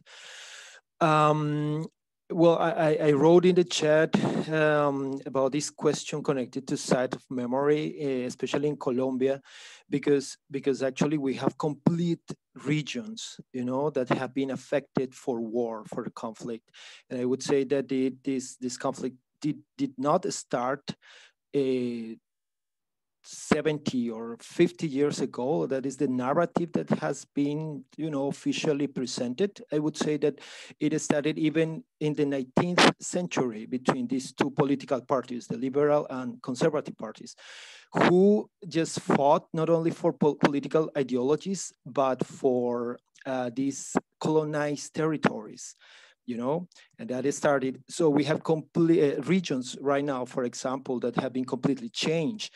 Uh, can we talk about these uh, memory escapes, not to be just specifically memory sites, but memory escapes, like these um, scholars such as Aaron Ware from uh, Liberia, had had uh, established this term, you know, memory escapes, and I, I, would say that this is connected to what happened right now in Colombia, in which uh, this the state or multinationals try to change completely the nature, you know, rivers, mountains, to implement this mon monoculture, and they are displacing, you know, uh, peasants and, and inhabitants. So I would like you to to comment about this, especially uh, Mrs. Uh, Louis, um, that is connected to, to your presentation. Thank you very much. Thank you. Yes, should I just go ahead? okay. Um, yeah, thank you very much for, for this comment, uh, um, Mr. Vargas. Um, of course, Colombian history is a history of violence. And um, you are perfectly right to say that the conflict uh, did not start 50 years ago, 70 years ago, but we have it like a, like a background noise, we could say, since uh, the time of the independence. Um, still, when we talk about the conflict, um, normally we refer to the problems of the 20th and 21st century. Um, and I think uh, what you just said about memory scapes um, describes very well what is happening in Colombia. Um, the, the map I showed where um, um, yeah, with every little dot uh, that was um, pointed out, a massacre shows it very well. Colombia, the whole, the whole Colombia is a memory space. And um, I think um, that is what it makes so difficult at that point to say, okay, we have this important space uh, where we can project all our, um, our efforts of, of making memory. Um, but there are so many. I, I could take any any place. And as we are so close to what is happening, it is very difficult um, to decide whether one place or another, or whether one region or another um, is more suitable to uh, be the, like the projection um, and the symbolic um, representation of the conflict. Um, I, I, really think that in, in Colombia right now, we are at the point, we first of all, we are too close. We are in a process that still has not ended, uh, where we actually don't know what the future will bring in terms of memory spaces.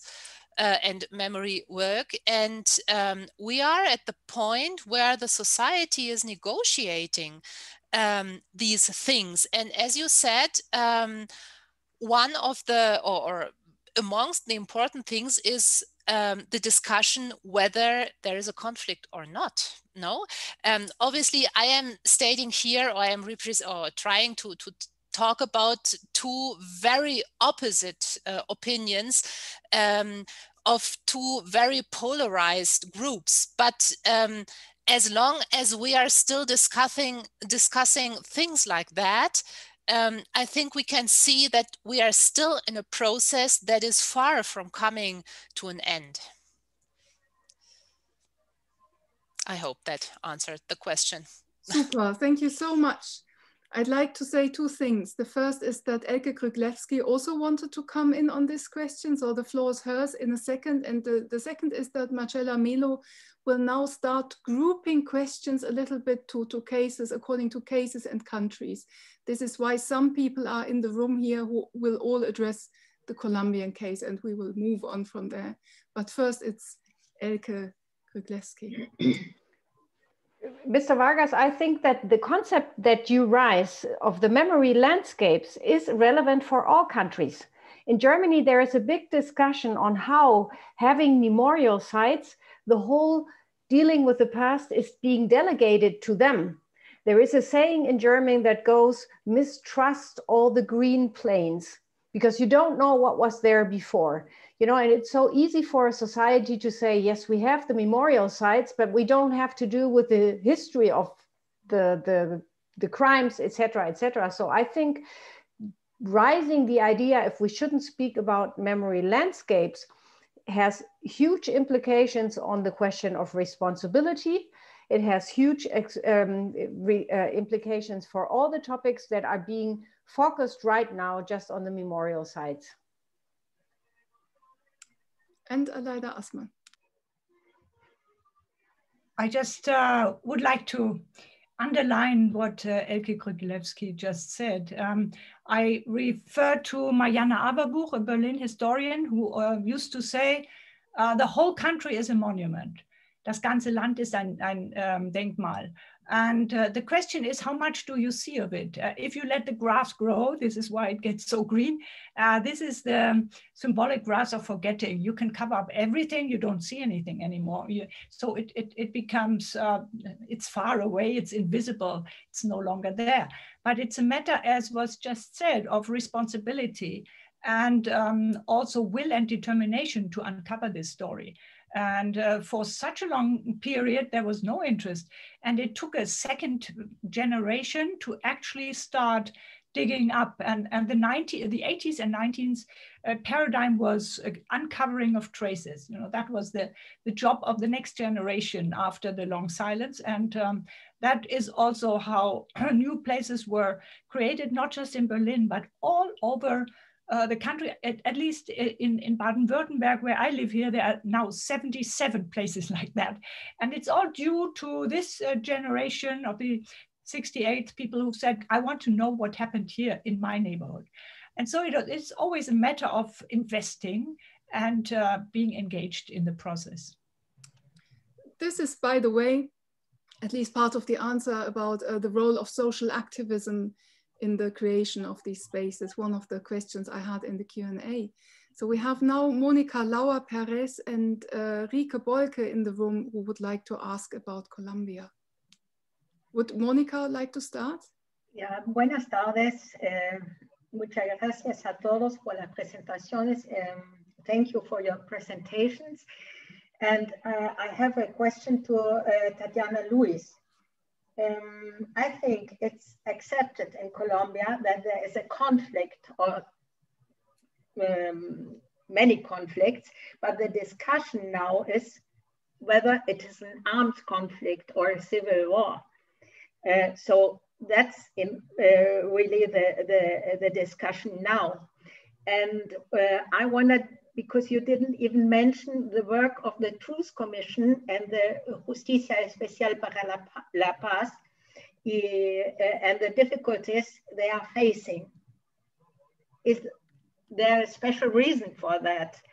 and the work of the Centro Nacional de Memoria Histórica in los últimos um, uh, last time is viewed very critically. What do you think about that?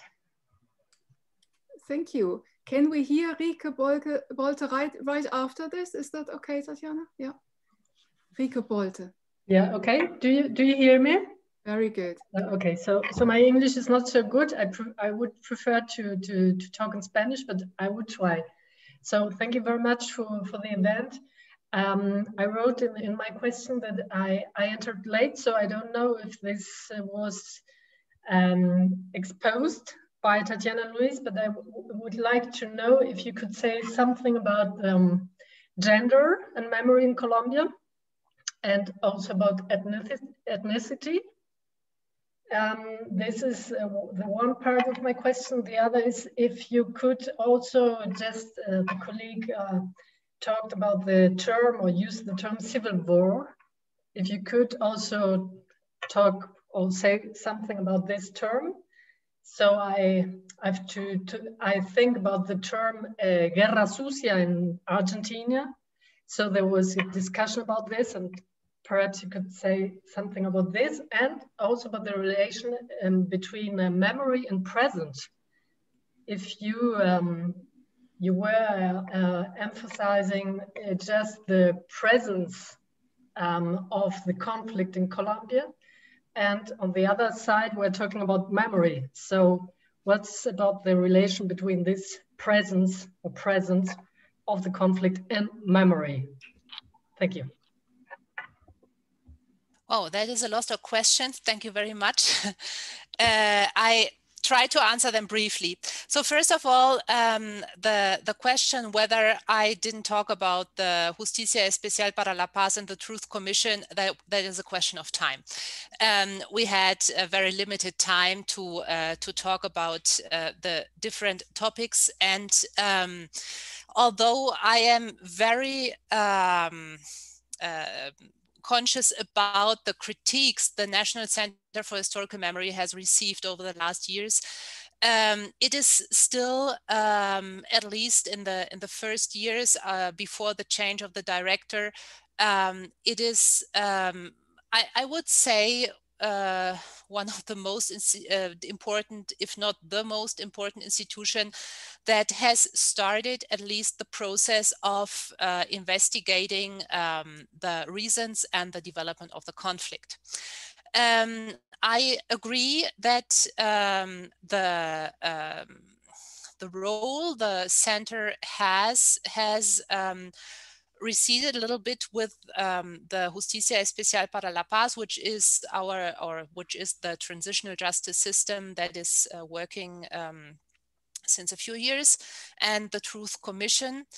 Um, the work in general is not easy, and um, that is due to to the very uh, complexity of of the conflict itself whether it is a conflict or a civil war. Um, well, this is a, a very broad discussion um, with uh, different positions. Um, I think uh, if we see that uh, from inside Colombia in general, we can say um, that civil war is a term that is reserved for the 19th century. If we look at how, for example, in, in, in textbooks for schools, uh, Colombian history is uh, narrated to children and, and um, young people, uh, civil war is something that happens uh, when um, the form of government, uh, the the way how the, the country is uh, governed, uh, is not still is still not very clear. But at the moment where um, uh, it is felt that the state and the nation itself has consolidated. At that point, we don't speak of civil war anymore. That is uh, an observation you can you can make.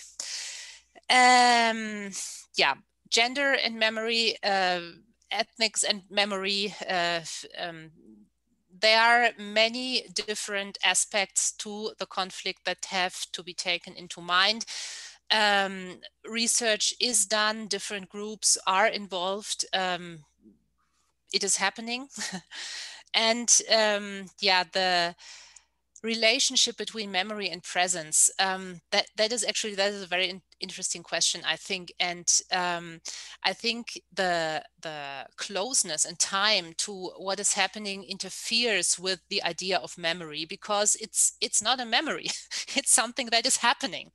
And um, because what the, the past is the presence and the future no?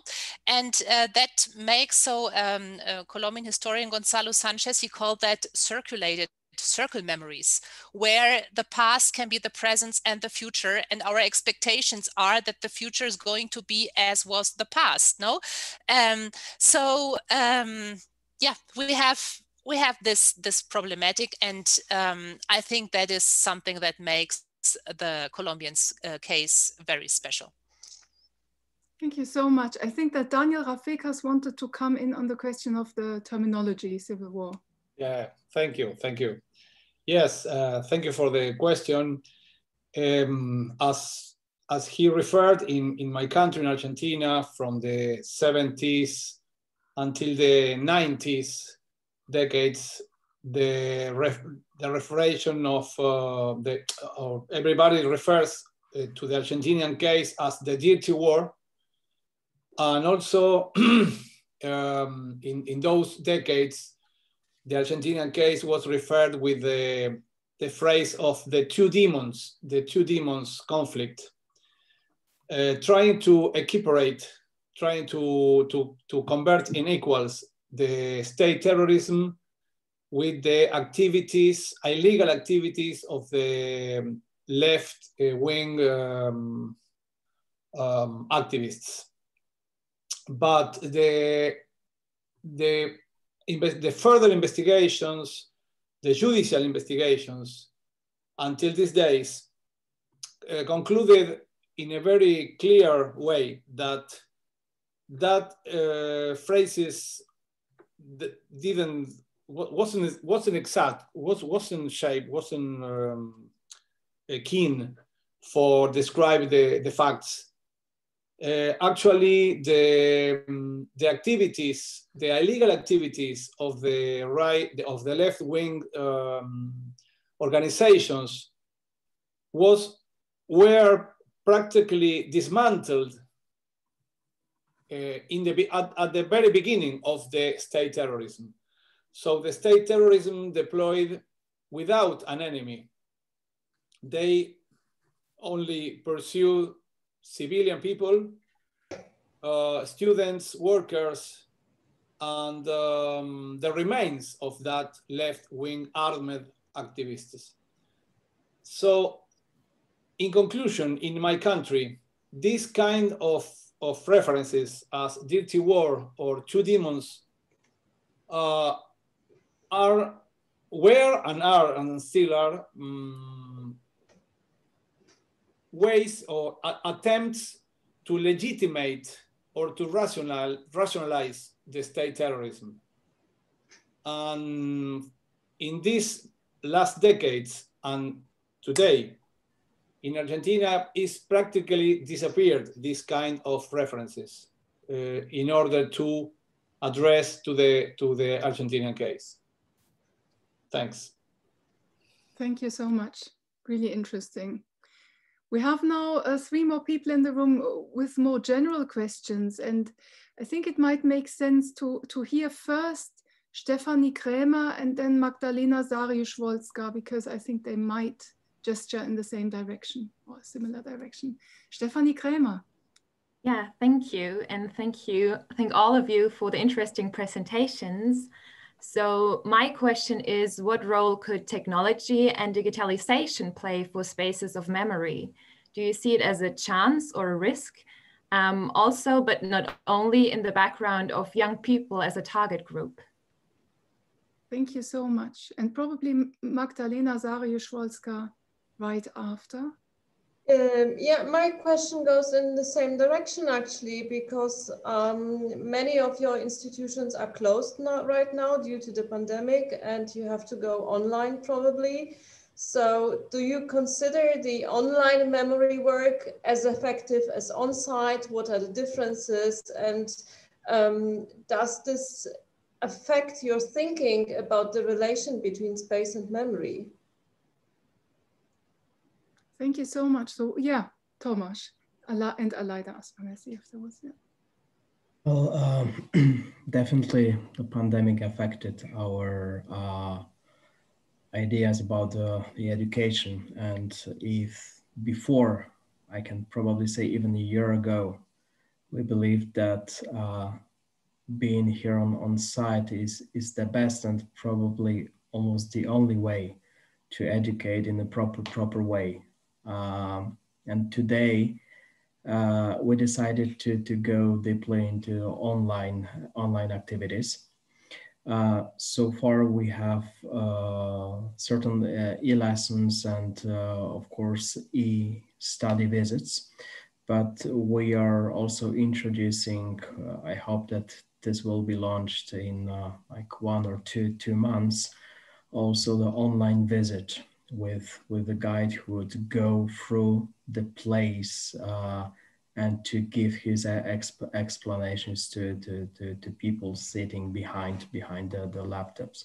So um, definitely the, the, current time and, and the and the pandemic changed completely our approach to, to the, the technologies. Uh, I must also say that um, few months ago, one of the Israeli companies offered uh, us uh, uh, that they will help us to, to, to make a, a application that will also enable to, to, to visit Auschwitz at, at any time, even if the, if the site is, is closed. So we are also working, working on, on, on that. And um, we are definitely a little bit afraid of what the, the, the future will, will bring because uh, again, um, we, we think that if somebody has a uh, has the opportunity, it would be best to, to, to come here to, to, to, experience the site it, it, itself, because it is the, the most important part of, uh, of our education philosophy, to be here, to experience, to learn, to learn in, in this place. But I think we do not have a, another choice and we have to go into um, uh, online uh, activities as well. Thank you. Aleida Assmann and after that, Elke Gryglewski. Or perhaps Elke first. Um, uh... Thank you, Aleida. I'm absolutely with on Thomas' side that things changed, um, but at the same time, it also showed us where digitality cannot substitute the visit in the site because there is a limitation. That is the one point, and I, and I don't want to speak very long. And the second important aspect that we have to be keep in mind is that all these digital projects have to be developed in a very sensitive way, have to be very careful because you move very fast also in the question um, of negationism there was a question before, you know, with digital methods, you can falsificate history and so on and so on. It's a huge topic. So it means, yes, it's a, it's a new and interesting possibility, but it really forces us to be very, very sensitive, very strictly, and it showed us where there is, uh, where the places cannot be substituted. I fully um, agree, and I would like to emphasize the possibility of combining online with offline. Um, and here I refer to an experiment or um, investigation that I did with um, historian. Um, how do young people visit um, uh, places of, uh, of, memory? And one of the ways they do it is that they take their uh, cell phone along and they make photos. Um, and doing uh, these photos is a way to interact with the site. And then afterwards, it's not over. They don't just have a number of photos. They sit down and uh, make a kind of timeline and they choose a piece of music and they make, make a film out of the various uh, images. And then they share this. And I think um, it, it can be very kitschy or tried or whatever, whatever, but I think it is an active form of uh, recovering the experience and doing something with the site. And in this uh, sense, I think it is a creative form um, of sharing and therefore it should not be under uh, overlooked and un undervalued because uh, this is something and a tool that everybody carries along and can do something with actually. Yeah, thank you very much. It seems that we have somehow lost Santiago Lopez Alvarez but let me quickly sum up his question because it's a question that, that is recurring. I've heard, seen that several times, and that is about the quantitative side of all this. So is it possible to quantitatively measure what is the impact of such a memorial site? Or how many of the victims group really subscribe to what is being done there? Perhaps the panelists could just keep this in mind, whether there's anything that you could say about quantitative uh, aspects of what you're doing. And while you keep this in mind, there are a few new people in the room now. And these are questions about the German case, or I guess Holocaust memory more general. We'll see. Uh, Hannah Grimmer first, perhaps. Thank you very much, Astrid. You can hear me? Yeah. Perfect. Uh, first of all, I'm quite happy to see such a constellation of research as you can imagine. So yeah, my question points to this yeah, linked to the term as well of traveling memories. It's um, directed to Aleida Assmann because given that the Nazis documented their crimes and they kept lists of when and where and how people were murdered, um, it's in quite a harsh contrast to the forced disappearance in the Southern Cone, because there the people were abducted, the documents, passports, photos were destroyed, the bodies bur buried in the desert of Chile or thrown into um, the sea or the ocean. And the surviving relatives did not know what happened. And that's as well what um, at least one line of the Madres de la Plaza de Mayo that you mentioned as well are demanding. They are demanding the living reappearance, the aparición con. So I wonder how do you bring these really different methods of killing people and these two different experiences for the relatives together under the concept of the spectral and Derrida's ontology. Thank you. Thank you. Would you like to answer directly? Yeah, thank you very much, Hannah. Uh, good to see you again or hear you again. Um, indeed, uh, we are comparing here something vastly different, the best documented uh, crime and the least documented crime. Uh, but uh, in terms of um, uh, the spectral turn and the ghosting um, and the haunting, I think there are great similarities. when um, in, in Celans Todesfuge, there's the line, um, um, da liegt man, also they're, they're buried practically, uh, the, the dead are practically buried in the, in the, in the skies. And uh, there is not no narrow space for them. Uh, he refers to the invisibility and to the impalpability of that memory. It's, it's, it's the lo total loss of the person, even though there may be a lot of documentation, but at the end, uh, there is no way to direct and to focus your attention. You know, the, the idea of a gravestone is, is unthinkable in such a place. And therefore, I think the, the haunting quality is, is uh, rather similar. All right, thank you. Maximilian Gergens has a specific question. Uh, yes, thank you very much. My question also comes from the German context um, because sometimes there's a discussion popping up about making it, it uh, obligatory for German pupils to visit uh, concentration camps. So um, my question is, how do you think about that? Or more in general, how do you think about the possibility to oblige somebody to visit a memorial site? That's a question for Elke Gryglewski. Yeah, I'm, I'm sorry. Well, I, I try to put this already into my presentation because I think it's a huge uh, ambivalence and not productive if um, people are forced in a very undemocratic way to go to places, uh, to memorial sites and learn democracy there. So that's one part. What I do think is that the whole discussion about forced visits in former concentration camp leads to a totally wrong discussion because um, if, if I think about young people, and I think it's not a criticism at all, we all were young. And when we were 16, who of us was really interested voluntarily in dealing with the past? No one. And not because we were stupid, but because we were young.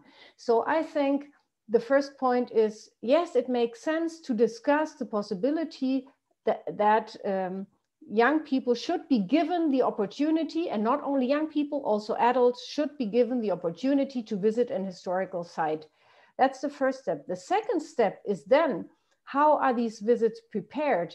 How are they integrated into educational contexts? How, how are they evaluated? And that is the point where we should invest our energies in that the visit itself is a success in a sense that the visitors have the possibility to find a relation towards the topic and so on and so on. It's a huge um, topic, but really just to focus always on the question forced visits of memorial sites leads us, in my opinion, in the wrong direction. So much. Well, uh, I totally agree with uh, Elke Gryglewski said. Uh, the choice, the possibility, but not forcing people, youngsters, to, to, to, to, visit. We also had these discussions here here in Poland, and um, I've seen that there was a question concerning the, the number of Polish visitors to, to, to Auschwitz Memorial. So we have we had over 300,000 a year. Uh, out of them around 200,000 were students or, or, pupils. Uh, so even though it's not obligatory in Poland to, to, to, visit any of the sites of the four former camps. So I just think that this uh, possibility is, is much, much more important because then both the teachers and students can choose if they want to come and, and not. And definitely the visit that comes from the the willingness is much is just more fruitful than than just be the visits that is somehow forced or, or imposed on, on on youngsters. Thank you so much. We have now, I think, uh, an important question on the transnational dimension of all this. And this is Nancy Al Hachem, not sure if that's pronounced properly. Let's see if her connection holds, otherwise, I'll read it. Hello, can you hear me? First, thank you so much for the fascinating topic and all of your work. My question is for Frau Assmann, but also for others if they can uh, like contribute. can memorials also become a place for tra transnational memories? For example, in Buchenwald, there is this uh, plaque on the ground, which is always 37 degrees, and it has a name. A people where, so Algeria, Romania, and all this. And it also, it's an important representation of the intersections of Holocaust, colonialism, and nationalism.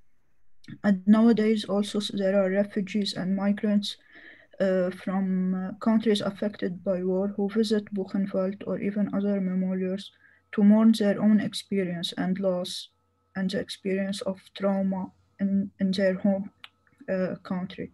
So my question is, is it possible or even wished for that Holocaust memorials acquire meaning that transcends uh, the memory of the Holocaust or even communicate with the memory of the Holocaust, but also has their own uh, memories, national memories or cultural memories. Thank you so much. Before you answer, dear Aleida, and thanks for, the, for this question, I have to say that we have just four more minutes and Thomas Fischer also will give some final remarks. So uh, we're now looking for very short answers. Yeah, but I, I will just emphasize how important your question is. I think this is a real research and also for, for the practice of memory, something to be kept in mind uh, for the future to make these spaces more multi-directional in the sense of Michael Rothberg uh, to uh, especially have a focus on, on migrants. And also uh, it was uh, called by Primo Levi a kind of Babel, all those languages, people coming from anywhere. Uh, this is an emphasis that can um, uh, also create a new um, link or bond for visitors com coming from, from different places. Thank you very much for mentioning this. These are uh, actually great uh, final words. Perhaps as there are two more people in the room, could I ask Noemi uh, Quagliati and Sara Alejandra Perez Gonzalez to ask your questions just in one or two sentences so that we can hear you too before we then have to wrap up? Noemi. Thank you. Um, yeah, I have a question for uh, Tomasz uh, Michaldo and uh, is about uh, the local community. So how the local community is dealing with the high number of visitors that are actually visiting the memorial and how you, you interact and you are able to um, um, transmit this feeling of anxiety with this high number that you described. Thanks. Thank you. And Sarah's uh, question was also about Auschwitz, if I see this correctly. Uh, yeah, thank you. Can you hear me?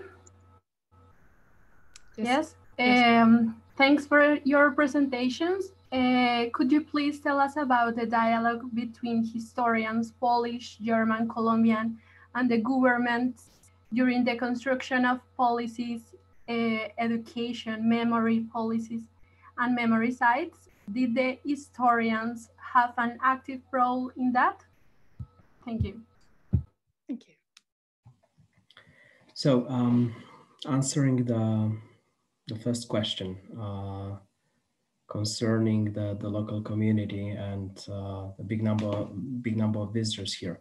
The truth is that uh, about 95% of, of our visitors do not stay for longer time here, here in the town in, in Oświęcim. They just come from Krakow, which is the, the big city nearby. They visit, and then they immediately immediately come come back. Also, uh, if uh, many of, of the participants there definitely had, had visited Auschwitz, so they know that uh, the, the, former camp is located rather in the outskirts of, of, of a town. So this means that most of the visitors do not really see the, uh, the, town, the town itself, uh, which implies that in fact many of the inhabitants of, of, of Oświęcim they just live by the former camp, but they don't really get, get involved. Uh, I mean, if they're in, in, in a high school, they come to visit, they pass by the place, but, but in fact, uh, uh, there is no big, I would say, interaction between the museum and let's let's call it the, the local local community. We also had some tensions with uh, uh, with the township, with uh, but uh, today it's it's it's much uh, much uh, much calmer.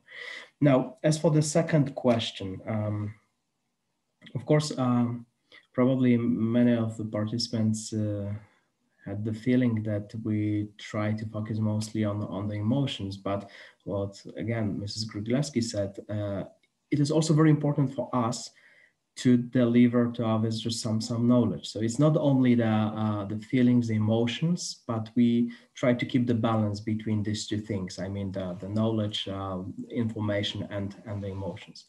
Um, I think that the best way uh, to, to make this to make them feel bit that an anxiety is um, just to make at the very end of the visit already in, in Birkenau, just to, to, to, to ask uh, certain questions.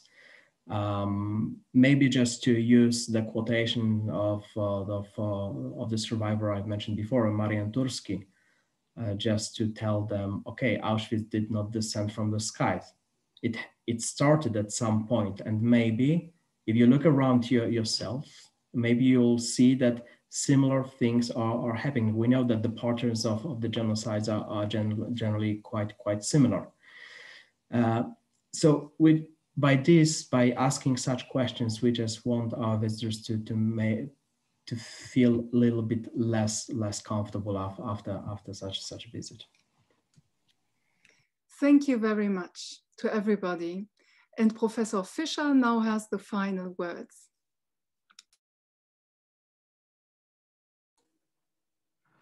Yes. Thank you very much for still staying here. My uh, final task is to make some concluding remarks. I will do that very briefly because uh, time is running off and well, uh, we, are, we were talking about the past and uh, the task has to do something with time, but uh, well, this time is now present. We have uh, to, ch our challenge is now to finish this conference. So um, our conference was about spaces and memory, or should I say memory and spaces. We were just discussing about this, which word comes before, uh, is, is the first one.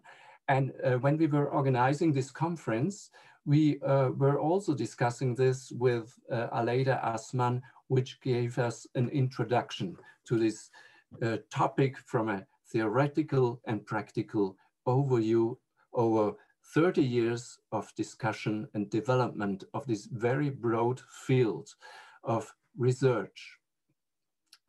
And well, um, I think what we are were going to do was to approach um, how in different sites space was constructed through representation and through praxeological emphasis. And we did that too in a transnational dimensions and we did it uh, with several uh, case studies, as I should say.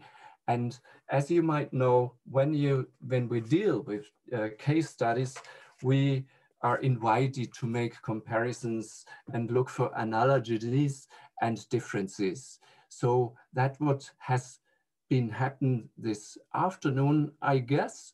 And now I just would like to stress um, six different results, six different points I picked out of this conference. Of course, there were, are many more, and as discussion has showed, we should extend uh, our discussion, really extend and uh, think about maybe a following up conference. So um, the first point I want to stress is um, or was addressed by Aleida Assmann that uh, among memory agents in Europe, the, the most important is the state. Whereas when we compare it to Latin America, and I can say it's not only when it comes to Argentina or Colombia, but also uh, um, relating to other Latin American countries, uh, one of the most, or probably the most important agents are social movements. So what we see in Latin America is that in, uh, and this makes a difference probably at least to Germany, maybe not that much to um, Balkan states or Eastern Europe states. Um, we have agents who have to struggle for the truth related to the past. That's uh, one important uh, thing I, I would like to stress. So they want the state as a, an agent to address the past, but it's very difficult to, to influence the state. No? The second point I would like to stress is pedagogy. Um, we have heard the, the presentations of Elke Gryglewski and Tomasz Michaldo about uh, Holocausts um, places and which have become sites. And uh, we, we have heard about how the approach to deal in a pedagogical way with the past is changing over time and changing with time and even uh, people there like like you both um, are trying to to incorporate in your uh, um, education work new approaches. For instance, the virtual transnational community creation, which was addressed by Thomas Michaldo. The third point, uh, which I would, uh, um, or which we should keep in mind, in my point of view, is that uh, memory and spaces themselves are changing. No, um, it's easy to say that, but uh, to conceptualize it and in a meta methodological way is not that easy, as I know as a historian. The fourth point is about visitors. And uh, I was struck by uh, this uh, point uh, made by uh, Thomas Michaldo that visitors should become agents, yes, but how? And uh, we should work more about this, I guess. And my fifth point relates to the presentation of Daniel Rafecas, which shows us that justice and judges um, are more than just instances to do justice, to establish the truth and spell sentences. He said, well, we should be mediators. That's a, a, an approach which could be well accepted by um, um, social sciences. As no, I really, um, I, I, was glad to hear that from you. Very interesting point. And uh, my sixth and final point is uh, a question. No, the question addressed by Tatjana Louis, how can we remember the past when the past has not gone? No, the violent past has not gone. And it's not easy to find the, the answers, but we can study the practices um, which and and manifold practices we, we can observe in the in a country like Colombia, but probably we could do the same in African countries or in countries of the Near East, I guess. So um, this reminds us once again that doing memory is important to construct peace processes, to give a, a, an impulse to peace, peace uh, processes. So these are my final closing remarks. And now um, I should thank the, the authors of these presentations we had here very, very much. Thank, give the thanks to the audience having been stood here all the time and participated in discussion. And we hope to see you soon, but hopefully in presence in another format. I hope. So that's uh, what I wanted to say. Stay healthy and safe. Goodbye from my side. And now I would like to give the last word to Dorothee Weitbrecht.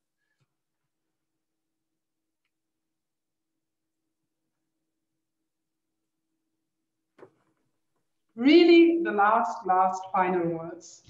We uh, now would like to close the webinar. I think it was very successful and um, we wish you a healthy and happy year 2021. And um, we hope that you can face the next maybe difficult months in Germany and Latin America and Poland um, with uh, patience and with confidence and a positive thinking. Thank you very much for this excellent event. Bye bye.